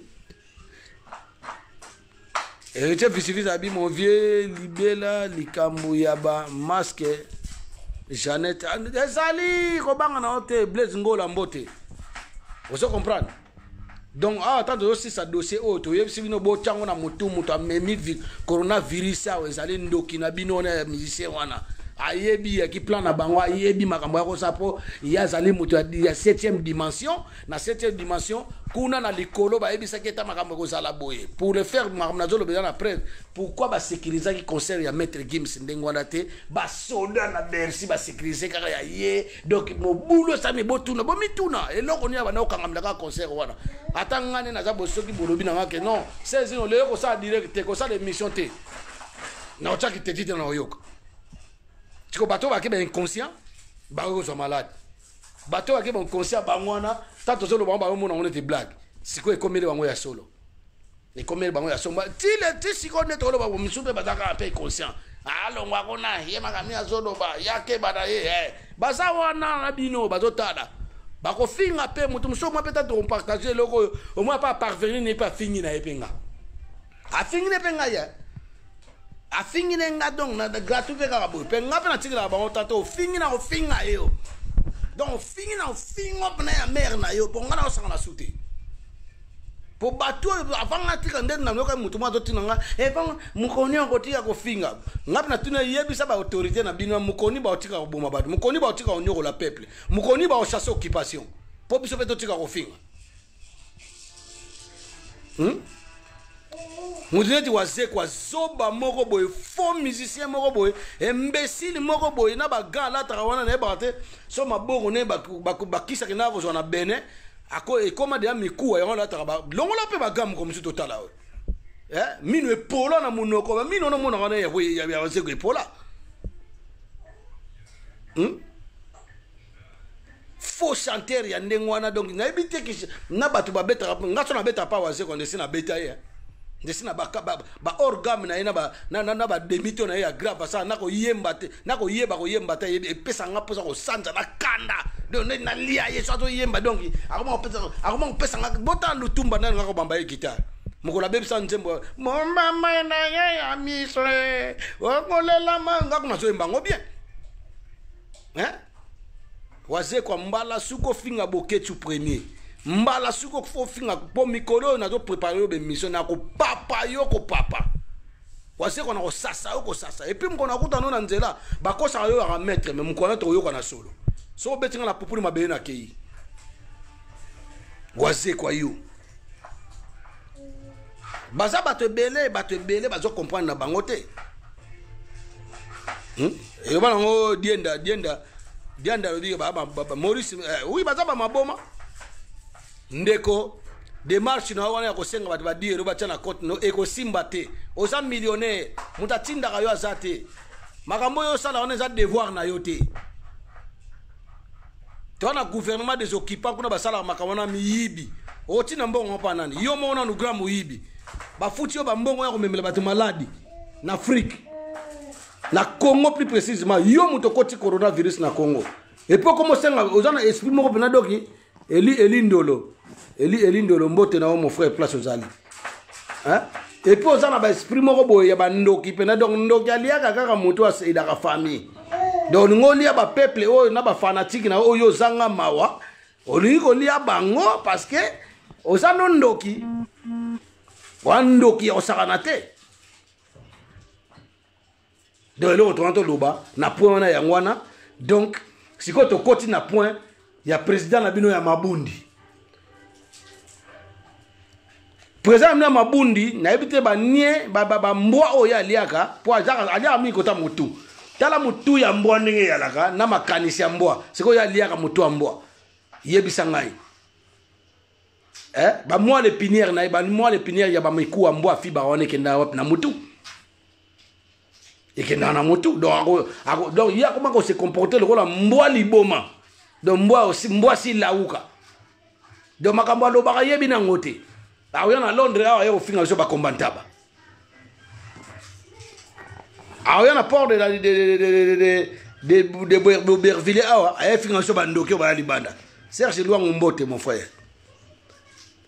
akoya parci par là kofingafinga bato président mobimba nayebi te azala nde président bataliban obi aza président bacongolais bon je crois pas kaza président bacongolais parce que so azalaki président bacongolais na mpasi oyo bacongolais bazalaka nango na souffrance nde sa défenda déjà bacongolais ntango ye abengaka baoccupant azobenga bango ke non oh, ya geni wara masamba ya geni wara masamba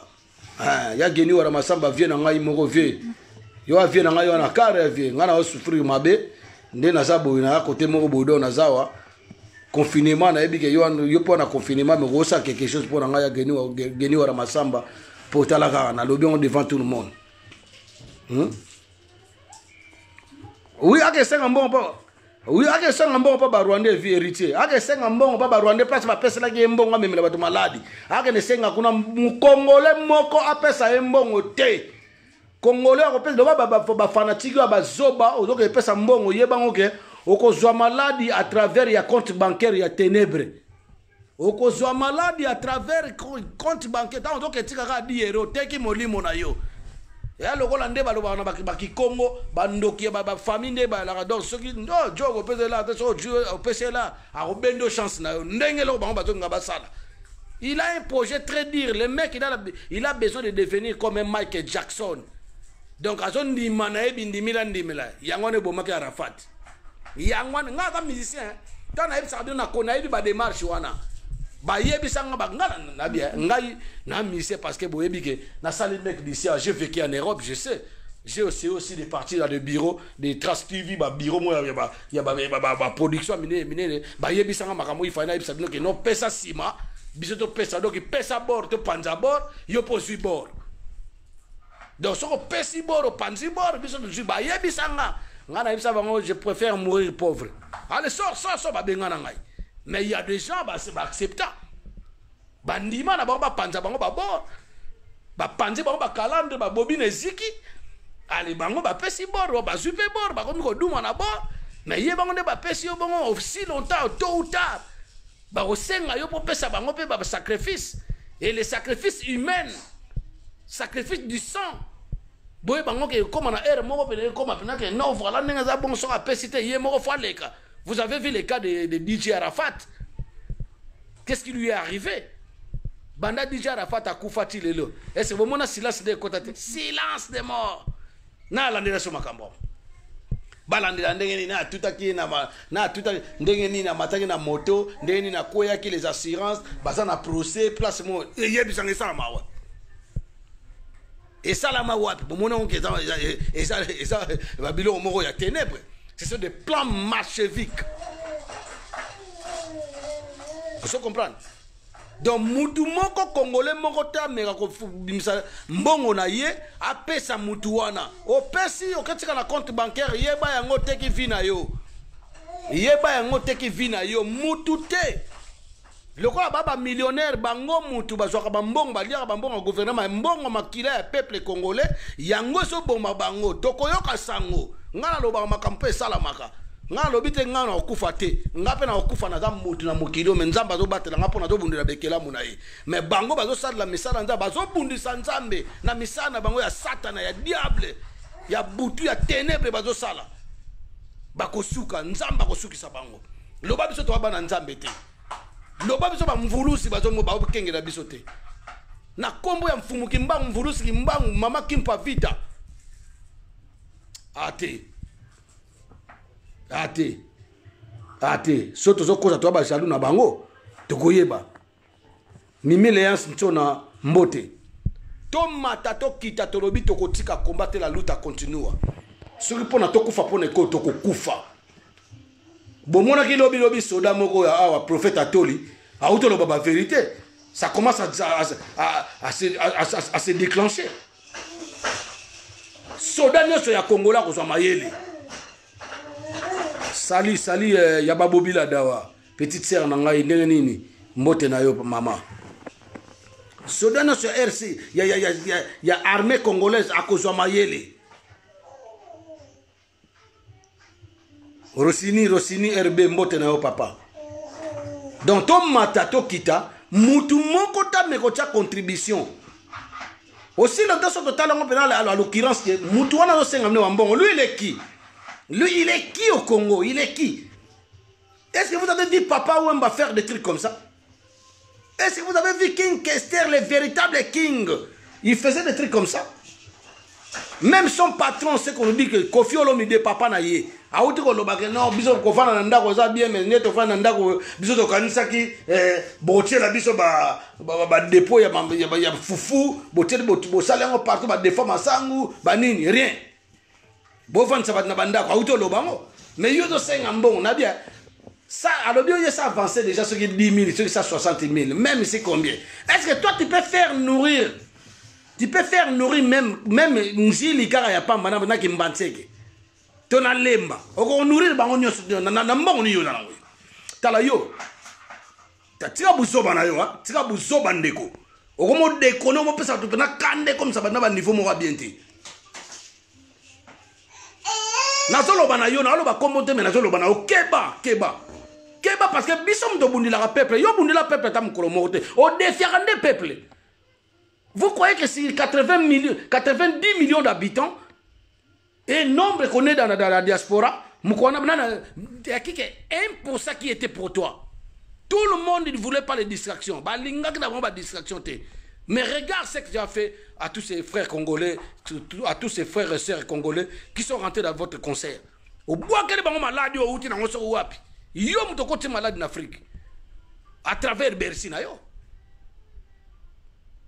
hein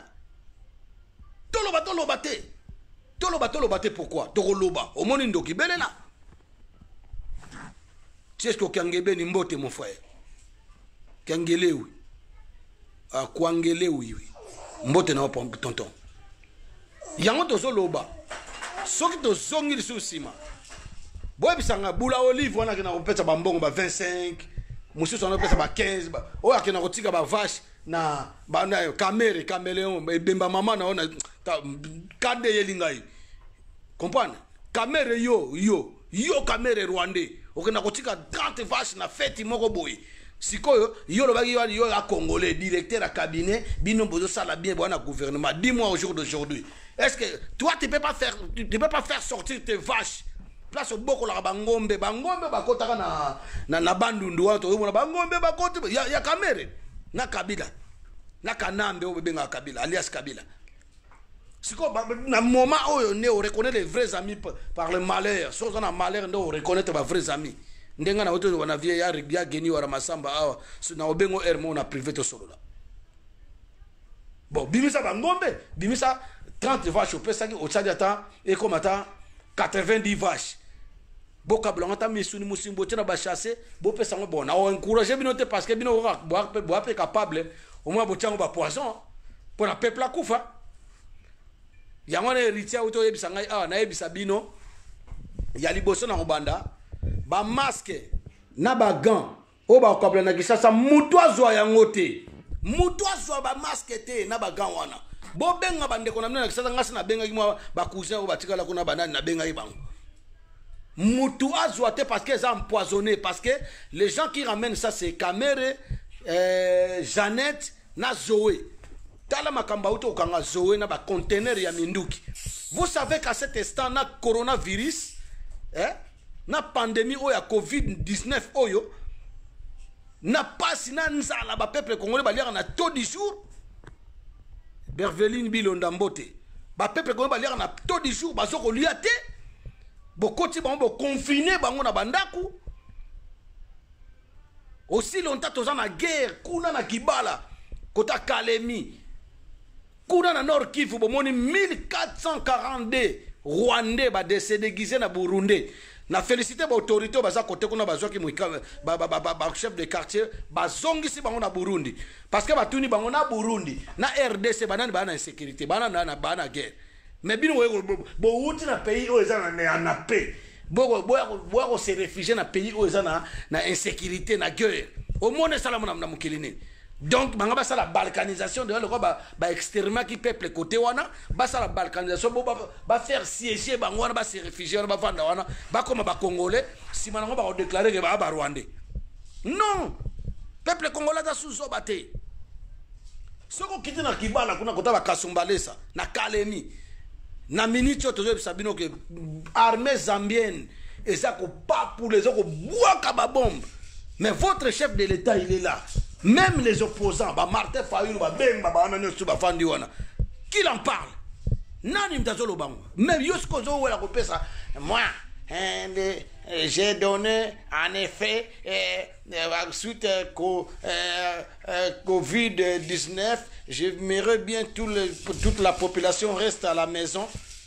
Regarde cet, cet, cet imbécile là. Bito Matumona. Regarde cet euh, soi-disant président parce que Ari Maji, Baloba Ango Bandakala, Ari Maji Aloba, le type wana za président, za deuxième bord. Bon, est-ce que ngam lobian? Enga na mona akaka za ne pe deuxième bord. Hmm? Et puis Baloba que so ba yoka to pop d'ailleurs on a peut-être 4 babenga on est 4 compositions, 4 critères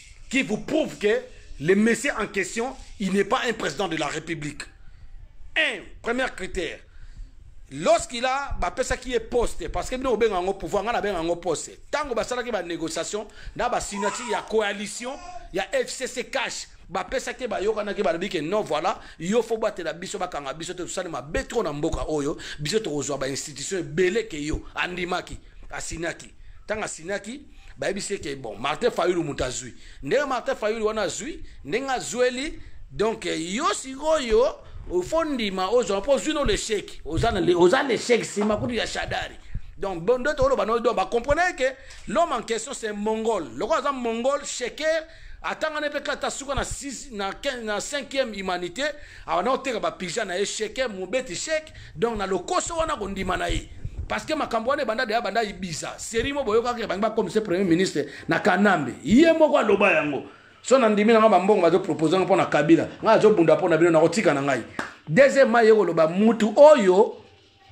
bonsoir serge mulumba bonsoir donc sikoyo mutu oyo na, na, awa na, na, na, yaki na, na, na boulevard triomphal alobaki ke non mutu oyo akotrahir peuple congolais mutu wana mpo aselanda ye ti na dernière goutte na ye ya sang yango ezolanda ye yango ezolanda ye alors sikoyo ntango basigne wana eza premier critère ntango basigne premier critère nde basigne premier critère premier critère wana sikoyo babike non voilà ye aye wana andimi na ye na ebandeli kaka ya poste na ye oyo bango bazobenga pouvoir na ebandeli ya poste na ye bitakwira nayebaka te so azala na grade nini parce que ce sont des occupants bitakwira alobi nini bitakwira alobi félix tisekedi il connaît il connaît ses limites il peut pas franchir la ligne rouge il sait Moi et Félix Tshisekedi, nous sommes de la même société. Bato batiaki tembe, mais bimaki déjà. Et deuxièmement, deuxièmement, baye koloba que non, voilà. Nani muto nani Charles Alexis Tambwe Mwamba. Charles Alexis Tambwe Mwamba lobi que il y a personne entre nous du gouvernement sortant qui peut passer devant la justice parce que Félix Tshisekedi va arrêter personne s'il essaye de jouer avec le feu on va éteindre tout de suite sa reine elakisi nini yo président de la république balobi no bongo mpenza balobi na yo bongo alofai na yo après toye komona bato ya ppr nde bandi kobima bandi kofinga bato ya idps kofinga mpena donc so bosakani ku bato ayide mpe basala rien minoko ekangama na bafiche mokoko wana abetama abetama asala rien bakanga kutu bamisu bakende oyo bareklamaka badepute provinciaux oyo bakorompaka bango mpona makambo ya nini ya parlement bakenda ti lelo bamonana te félix tisekele alobeli yango te adefanda bato wana te to wana bamembre mosusu ya idps bakanga bango ti lelo parti au pouvoir soit disant bakanga bango ti lelo babima te baboma bango kutu mosusu bafausse commune oyo bomonaki ba 450 mort ya fausse commune ya charni ya maluku bato ya idps baza wana ebele hmm? tous ces crimes là soki ozalaki bon président yo mpena oza mpena président mpena ya solo bon kutu te okozala mauvais mais oza no ya solo te oyo ape bon mais oza no ya solo te soki ozalaki mpe ya président oyo oh, oh, oh, osinie mpena mpo odefendre bacongolais nde bato wana no tufo baleka na, na justice bato wana tufo baleka na justice boyebisa ngai donc awa sikoyo tokoti na troisième critère troisième critère tomoni henri magie henri magie azoloba ke alobi yango première fois abi ke si tu es vraiment président de la république so oza mobali mpenza oza na soka oza mpenza yo mobali oza na mapumbu yo président biso biso te moto otyaki yo yaka kodeclare yaka kodissoudre parlement dissolution adissoudre yango déjà dissolution esalama soki oza mobali yaka kokota makambo ya senat mpo na konome premier ministre e eh, premier ministre ilunkamba wana ilunga ilunkamba oyo batya wana premier ministre de l'occupation ya gouvernement de l'occupation parce que ti lelo kanamba aza nde kaka na pouvoir botika kolobaka o bowana koloba ye akende siko biso démarche na biso ezalaka ya kolongola motu te mpo baremplace motu démarche na biso ezalaki ya kochasse rwandais to chasse occupation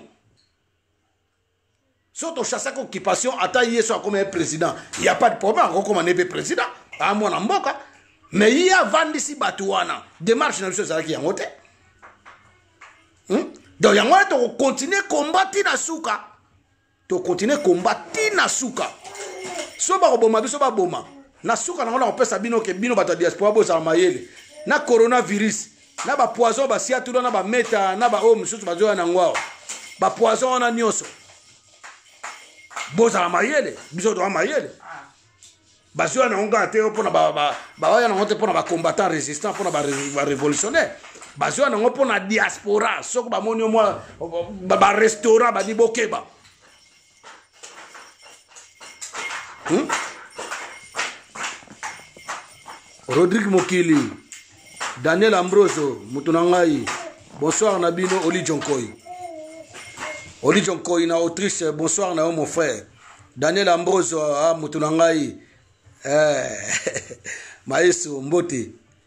ozo comprendre donc tozoloba wana sikoyo moto alobi yango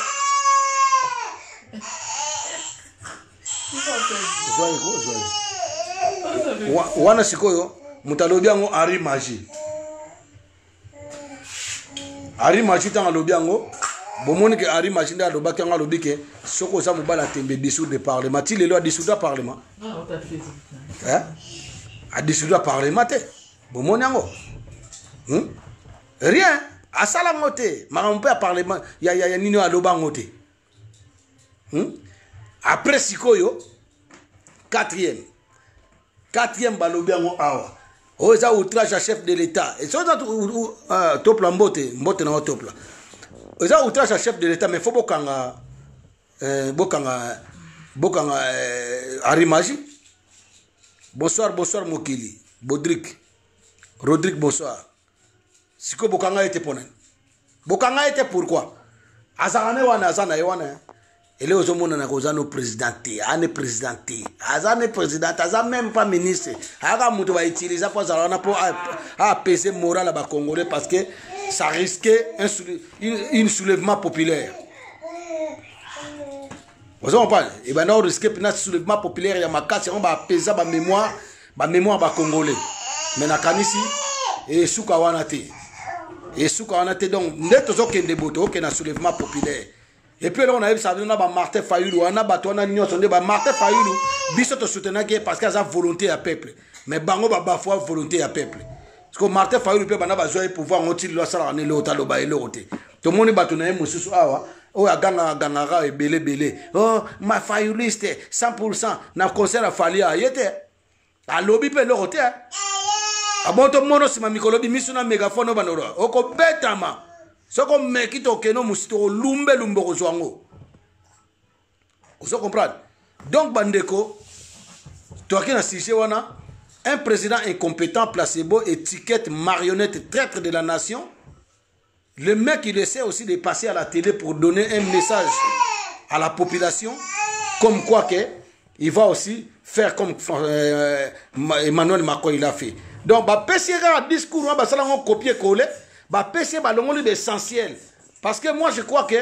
le discours, euh, les discours de Macron, je vais euh, décortiquer ça à ma façon, je vais faire ça à ma façon.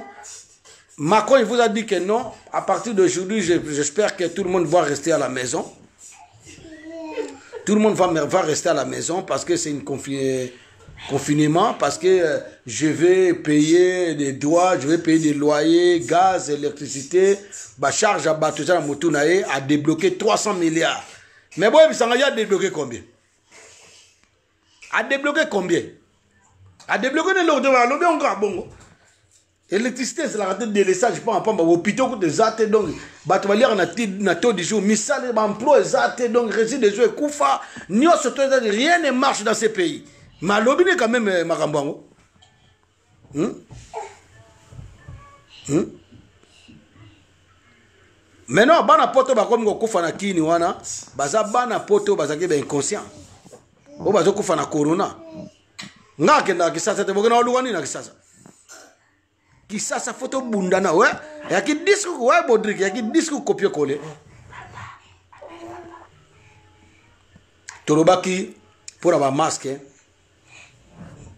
na bagan moto azwa yango te epuis nangi nakóma na sujet ke président na bino aboyi bango aza président te jordan à tout congolais du monde entier surtout dans la diaspora il faut enseigner vos enfants notre république esuka kaka na troisième république ti lelo na tozwa président te toza kaka toujours na occupation Il y avait le président Joseph Kassavubu na pour na profiter kutu que son âme repose en paix na rendre hommage lelo parce que akufa mukolo yango yaki lelo et deuxième président c'était Mobutu oyo azalaki mpe na mamabe na ye mobutu mais atiaki biso na meme lisanga tata bo moko tondaki kolia bien moto na moto amibongisa nakanisi bobosani yango te malgre baerreur asala et puis mose le roi desire kabila ntango aye abanda kokotela peuple abenganaki barwandais bomonaki mais ye mpe asalaki mabe ndenge ayaka so na barwandais ye mpe amemela biso so ya malere tosukaki wana ti lelo na tozwi président te ntango balobaka alias kabila kanambe kanambe wana azali représentant ya baoccupant aza président ya moto te et puis nazo yebisa ba opposant na nyoso babengaka kabila banda lelo boti kobenge kabila parce que bino pe ba opposant wana bino to ba homme politique bokomi kobeta madon na ba pasteur tala ba pasteur bino bokumisaka bango siko bakangi baeglise wana ba incompétence baza nango na ba moyen bosala eza te bokomi osenga badime ba, ba, ba, ba, ba, ba, ba, ba, ba, ba, ba, ba, ba, ba, ba, en direct ya facebook na whatsapp bokosuka moni nzambe nde azobeta bino fimbo nzambe azobeta bino fimbo ah. bandeko bozala mayele eloko mosusu na ngai naloba bamindele bazokita na kisasa mpo na bavaccin bomeka kozwa bavaccin wana te boboya kozwa bavaccin wana ezali poison eza poison bamindele baza kotyela no poison ya, ya coronavirus wana boya na bino bie bakongo bololo eza banzeta mapele ezali banzeta makasa manga ezali banini boyebi nde bakoko na biso basalaka bosala basysteme wana bokeba bokeba epuis na bino bato mosusu na awa na poto soki omoni kalma eh, nakesalisa teste ta mosusu coronavirus okeli hôpital awa okoki osala mpe bokoko na yo na ndako ozwi kaka te oyo ya citron bate wana otie na mai ofiniki vunga oyo babengaka bulangeti ofiniki oyo babengaka nini kombo nango nini eh, kwete ozobalula boye otoki mpena ata ba 35 minutes omona ekolongwa omona fievre wana oza nango ekolongwa yaka bafievre te ezaka bafievre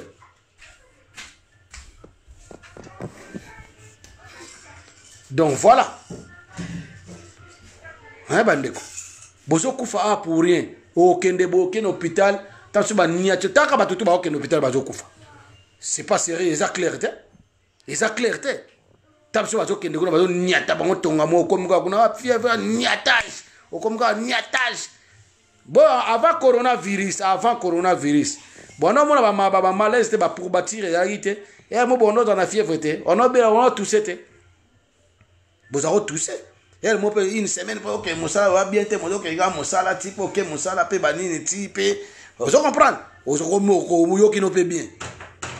me yebisa nga sikoyo bozomona te boyo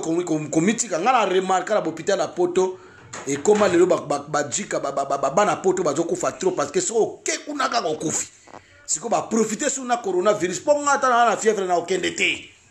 na okende te na osala système ya bokoko yango bozo comprendre makambo te na osala système ya bokoko bokende te bavaccin na bayopesa bobenga bamama batata bandeko kuna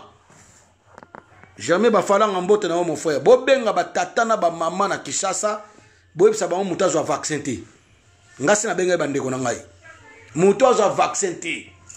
vaccin wana eza poison moto awuti koloba yango na réseau sociaux bango moko mindele mes frères et sœurs africains losako germain bafalanga mes frères et sœurs africains attention avec ces euh, vaccins bangi baextermine bino bino otango ya histoire te na 1990 donc na 1990 sadam hussein alobelaka deja makambo ya coronavirus oyo botalaka botanga botanga mpo bolinga otanga te botanga ngai natangaka na ngai mpe trop kadafi alobelaka makambo oyo bandeko bokeba bokeba donc yango na eloko toyaki na sujet na yango fali ipupa ndeko na biso zwana masagesse kota nano makanisi ya peuple oyeba soki peuple alingi nini bato bazokemba bato bazokufa nzala na kisasa mpasi bato bazouta kisasa bazoloba mpasi ya na kisasa mais yo yo osala biso kaka baventure olongo na makambo concert na yo esimbisimbi nango te olongo na makambo okomi susu koono oh bapesa yo mbongo ta na compte bancaire na yo mais mesi oa malade oa na malade ya liboma na motu na yo epuis bamakambo ayosala na bainterview na ye bokeba asaki interview mona na zoba mo babengaka soki mompasula soki complexe wana soki mompasula asalaki oumonaka azoloba mamo azoloba ezanga ntina na partageaka ozala na kotina na kopartagea bomona motu akomi liboma morena aristote mbote na yo donc bandeko na bandaki bandaka nasala ata une heure ya koloba awa donc à chaque jour na 21h na 21h45 ou bien de 30 à 45 bando mona ngai mais je vous invite toujours à s'abonner à s'abonner euh, massivement sur mon, dans, dans mon site Ginette Ginette Mbote na yo oye retard faut bokotaka avant makombe chapeau kotaka kaka retard mbote na yo mon frère donc eloko asuka tonga toloba ke bato wana nyonso fo totelemela yango bamusicien wana baa bazoba banyama makambo elekaka na mboka na biso makambo ya ndenge na ndenge balevement barestation arbitraire bamassacre bagénocide baviolence ezoleka bayebi bien ke toza okipe mbote makombesha bayebi bien tozo kipe bayemba yango na nzembo te eloko kaka basengaka bango ke denoncement badenoncaka te tala makambo etali coronavirus bango te babimi bimi eh, ngai kofi olomide coronavirus omoni eh, eh, makambo na pamba pamba wana ozoloba yoka nde aza na besoin makambo na yo wana o oh, wana mosusu soki fali bopesa mbongo na compte na nga do na bapaster na bato wana diference eya nango te baa nango ndenge moko baza na bango ndenge moko na bapaster na bato wana donc c'est-à-dire c'est les oiseaux de même plumage oyo ya bango kutu eleki bapaster bazo regrete bakangi babar lelo bakangi babiloko nyonso tu sikoyo oyebisa ngai natuni bino sikoyo ah france batie biso na ndako biso bazofuta biso ah. moto to asalaka na france amoko ozala na mokanda te bakofuta yo te mais eh, antuka ovivre no ta mosusu bien okobengaka mpe sele tino nzala boye na boye boye na bia asala boye sala boye sala boye olie mpe hmm? hmm? yunga na comprendre te olobi loba kotika te ndako tolembi awe ah nga naloba naloba natika te ta toyebisaka bino makambo bob denar kitemoko ozotala ngai na minute oyo bovandi na ndako na kini kuna donc tozoloba ke vous avez un président qui est incompétent il n'est même pas président le pouvoir le régime de kabila continue jusqu'aujourd'hui donc les gens là eh, eloko na ngai nayebisa bino bob kitemoko denar yebisa bato nyonso tu na kisasa mutu moko te concert ezonga te na poto fali a eza eloko te la personne qui a ramené le coronavirus na kinshasa ezali fali ken mpiana aza na coronavirus ya makasi aza na aza na basoin babenga yango soki soin nini wana nabosani aza na gravement malade na hôpital afem loboko angela la firie nzembote na yo papa ayungo ah, ozoseka bomoni nga na rtnc bapesaka bino makambo est ce que rtnc makambo oyo ezoleka na congo balobelaka bino yango balobelaka bino yango te mai okomona bacomplexe mosusu baza awa okomona mami ile na ye atala ah, bafoto omona jeune moko mpe bogar omona mpe motu moko mpe bien mais zoba moko donc omona donc azomona bien mami boya lisusu boya lisusu oyo oh, nati kolokonde wana soki nati kolokonde wana azwaki eya moke papi mboma ya mbala oyo otikaka motakala mpe nomona mpena ngibi olakisa yango okolakisa yango bien mpena na publike donc ah, morena oye na retard ebongo ya sikoyo avant ere moko bongo ya avant okoya na avant mokolo mosusu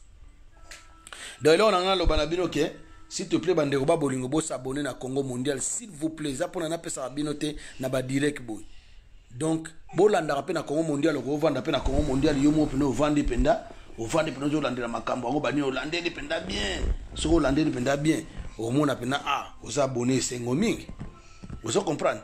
donc na nde moko ya bie bandeko nde fali pupa oya na mbongo osenga bato te moto mpe apesa mbongo eza to ngosomba su ama bato ngosomba milimo ya bato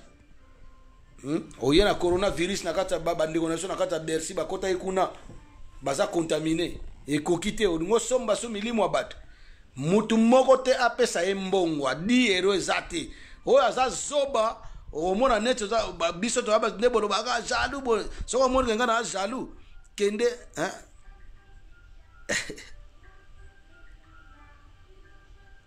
ah merci beaucoup yannick lienga nde ocomprendre oui aza na ye zoba moto wana soki nani soki nani yango wana aza ni zoba so mabundi wana chilombo aza zoba epuis bamisusu bazoba misusu bataliban bazokontinue kosoutenir ye ti lelo te aza président président yo wana president bozomona mango bayosala ete bakale ya pato wana president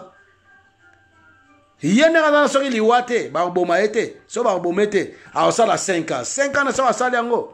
cheval blanc mbote na yo soki asali 5 ans wana soki mpe ekoki akosala mpe eloko te ntango azonga asala eloko te boyoka na soni bino lokola bakongole bobosanaka noki oyoka mpe eh, azongi opposant abalukili kabila te bato tu basala na kabila tolingi bango su te bonsoir cheval blanc tolingi bango lisusu te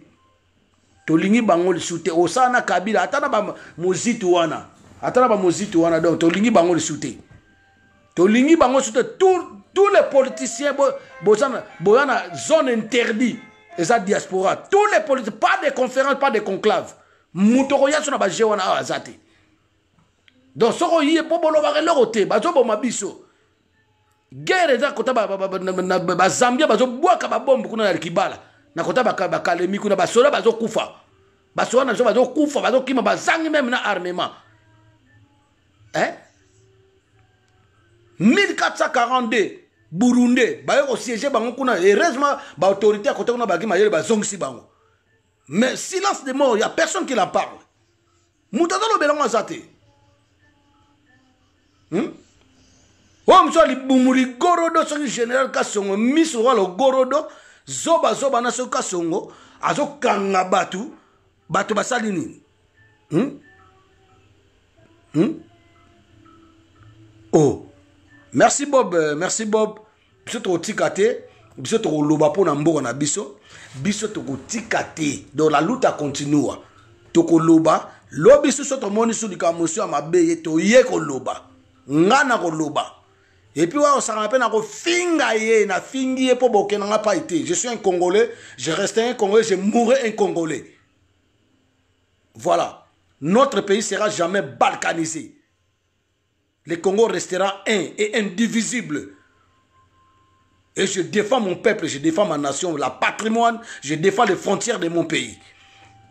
awa macron akangi bafrontière hein. partout akangai bafrontière hein. yo na discours na yo oyo opesaki ozangisi basociale ozangisi makambo ebele oyo okosala mpo na bakongole mokoti bango na bandako po yo moto okosumba nie ya bambwa oyo aliaka na mitio mpo nango bokabuni na bachasse biso bopentelaka mokinza aloki okabula yango na bandako moko moko moko moko de l'autre côté moyibi mosusu amemili bato coronavirus ya musicien ya zoba ya musicien oyo azwaka loba bapesa ye badiyero abosani kayebisaka bato aza millionnaire ana bajete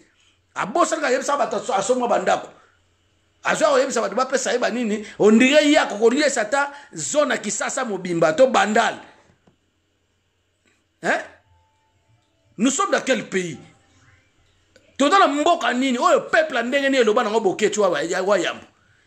ezoba mosusu bamoni na kisasa azosala émission oyo so fo kokanga bakanga se les yeux na bokechu mpo bango motu eh, eh, nga azobundela mboka na nga okanga na makambo okanga mpo na nini nga to bodi na mboka na nga okaa nga mpo na nini mpo na sali nini eh? meme ba de gaulle babundelaka mboka na bango okaa nga mpo na sali nini hmm? nasali nini ngai hmm? nasali nini so boya kokanga boyekanga boya kokanga ko yo moni oyo twana kingakati bokosa biso makambo otala oh, bango nde baza na barefoule bacombattant banini banini barefoule ye biso bisikani bino omoni oyo ezaka congo rdc nde kingakati awa eza mboka lua ata biso tovandi bien na ndako baofuta biso totolia tomelaka hmm? bazoba bataliba bokamwisa bato sikoyo bino boa na parti au pouvoir idps sikoyo bobundelaka nini bobundaka contre banani boyebisaka bobundaka contre banani bobundaka contre banani boyebisanga bobundaka contre banani contre banani yango bobundaka moto na bino mdaka président azalaka nde président te aa nde président te bosiko bobundaka contre banani bokosuka bokosuka epuis bosi bosuki bokolela epuis bokokufa bino tuka te bokosila na bacoronavirus ekozwa peuple congolais moko te wana kisasa ata oyo aza awa bosalama ah, bon naomona baoyo bazokende na baokufa na bango nayebi te so baokufela ndeni mais moi j'espère ke bango bakendeki kozwa yango na concert ya ba occultiste na concert ya ba sataniste donc euh, na na mingi te akoloba peuple congolais tofongola miso totelema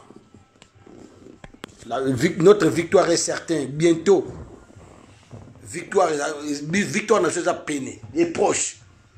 donc peuple congolais motu azo comprendre te conscientise ye nini namonaki adele adele abanda kocomprendre te acomprendre sikoyo donc naza na mingi te ya koloba mpo na lelo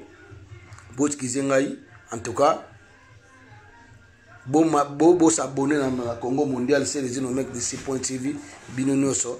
esala bien bolanda information bamoko en tout cas ingeta ingeta ingeta bandeko botikala malamu oyo etikali tokolobela yango lobi bosobo wana basujet botindaka basujet bobengaka mpo esalaka bien donc merci beaucoup ingeta nzambe aza na biso nzambe azala na bino nzambe abatela biso bomibatela bobatela bana bobatela bafamille en tout cas congolais azali peuple mpena oyo babenga le véritable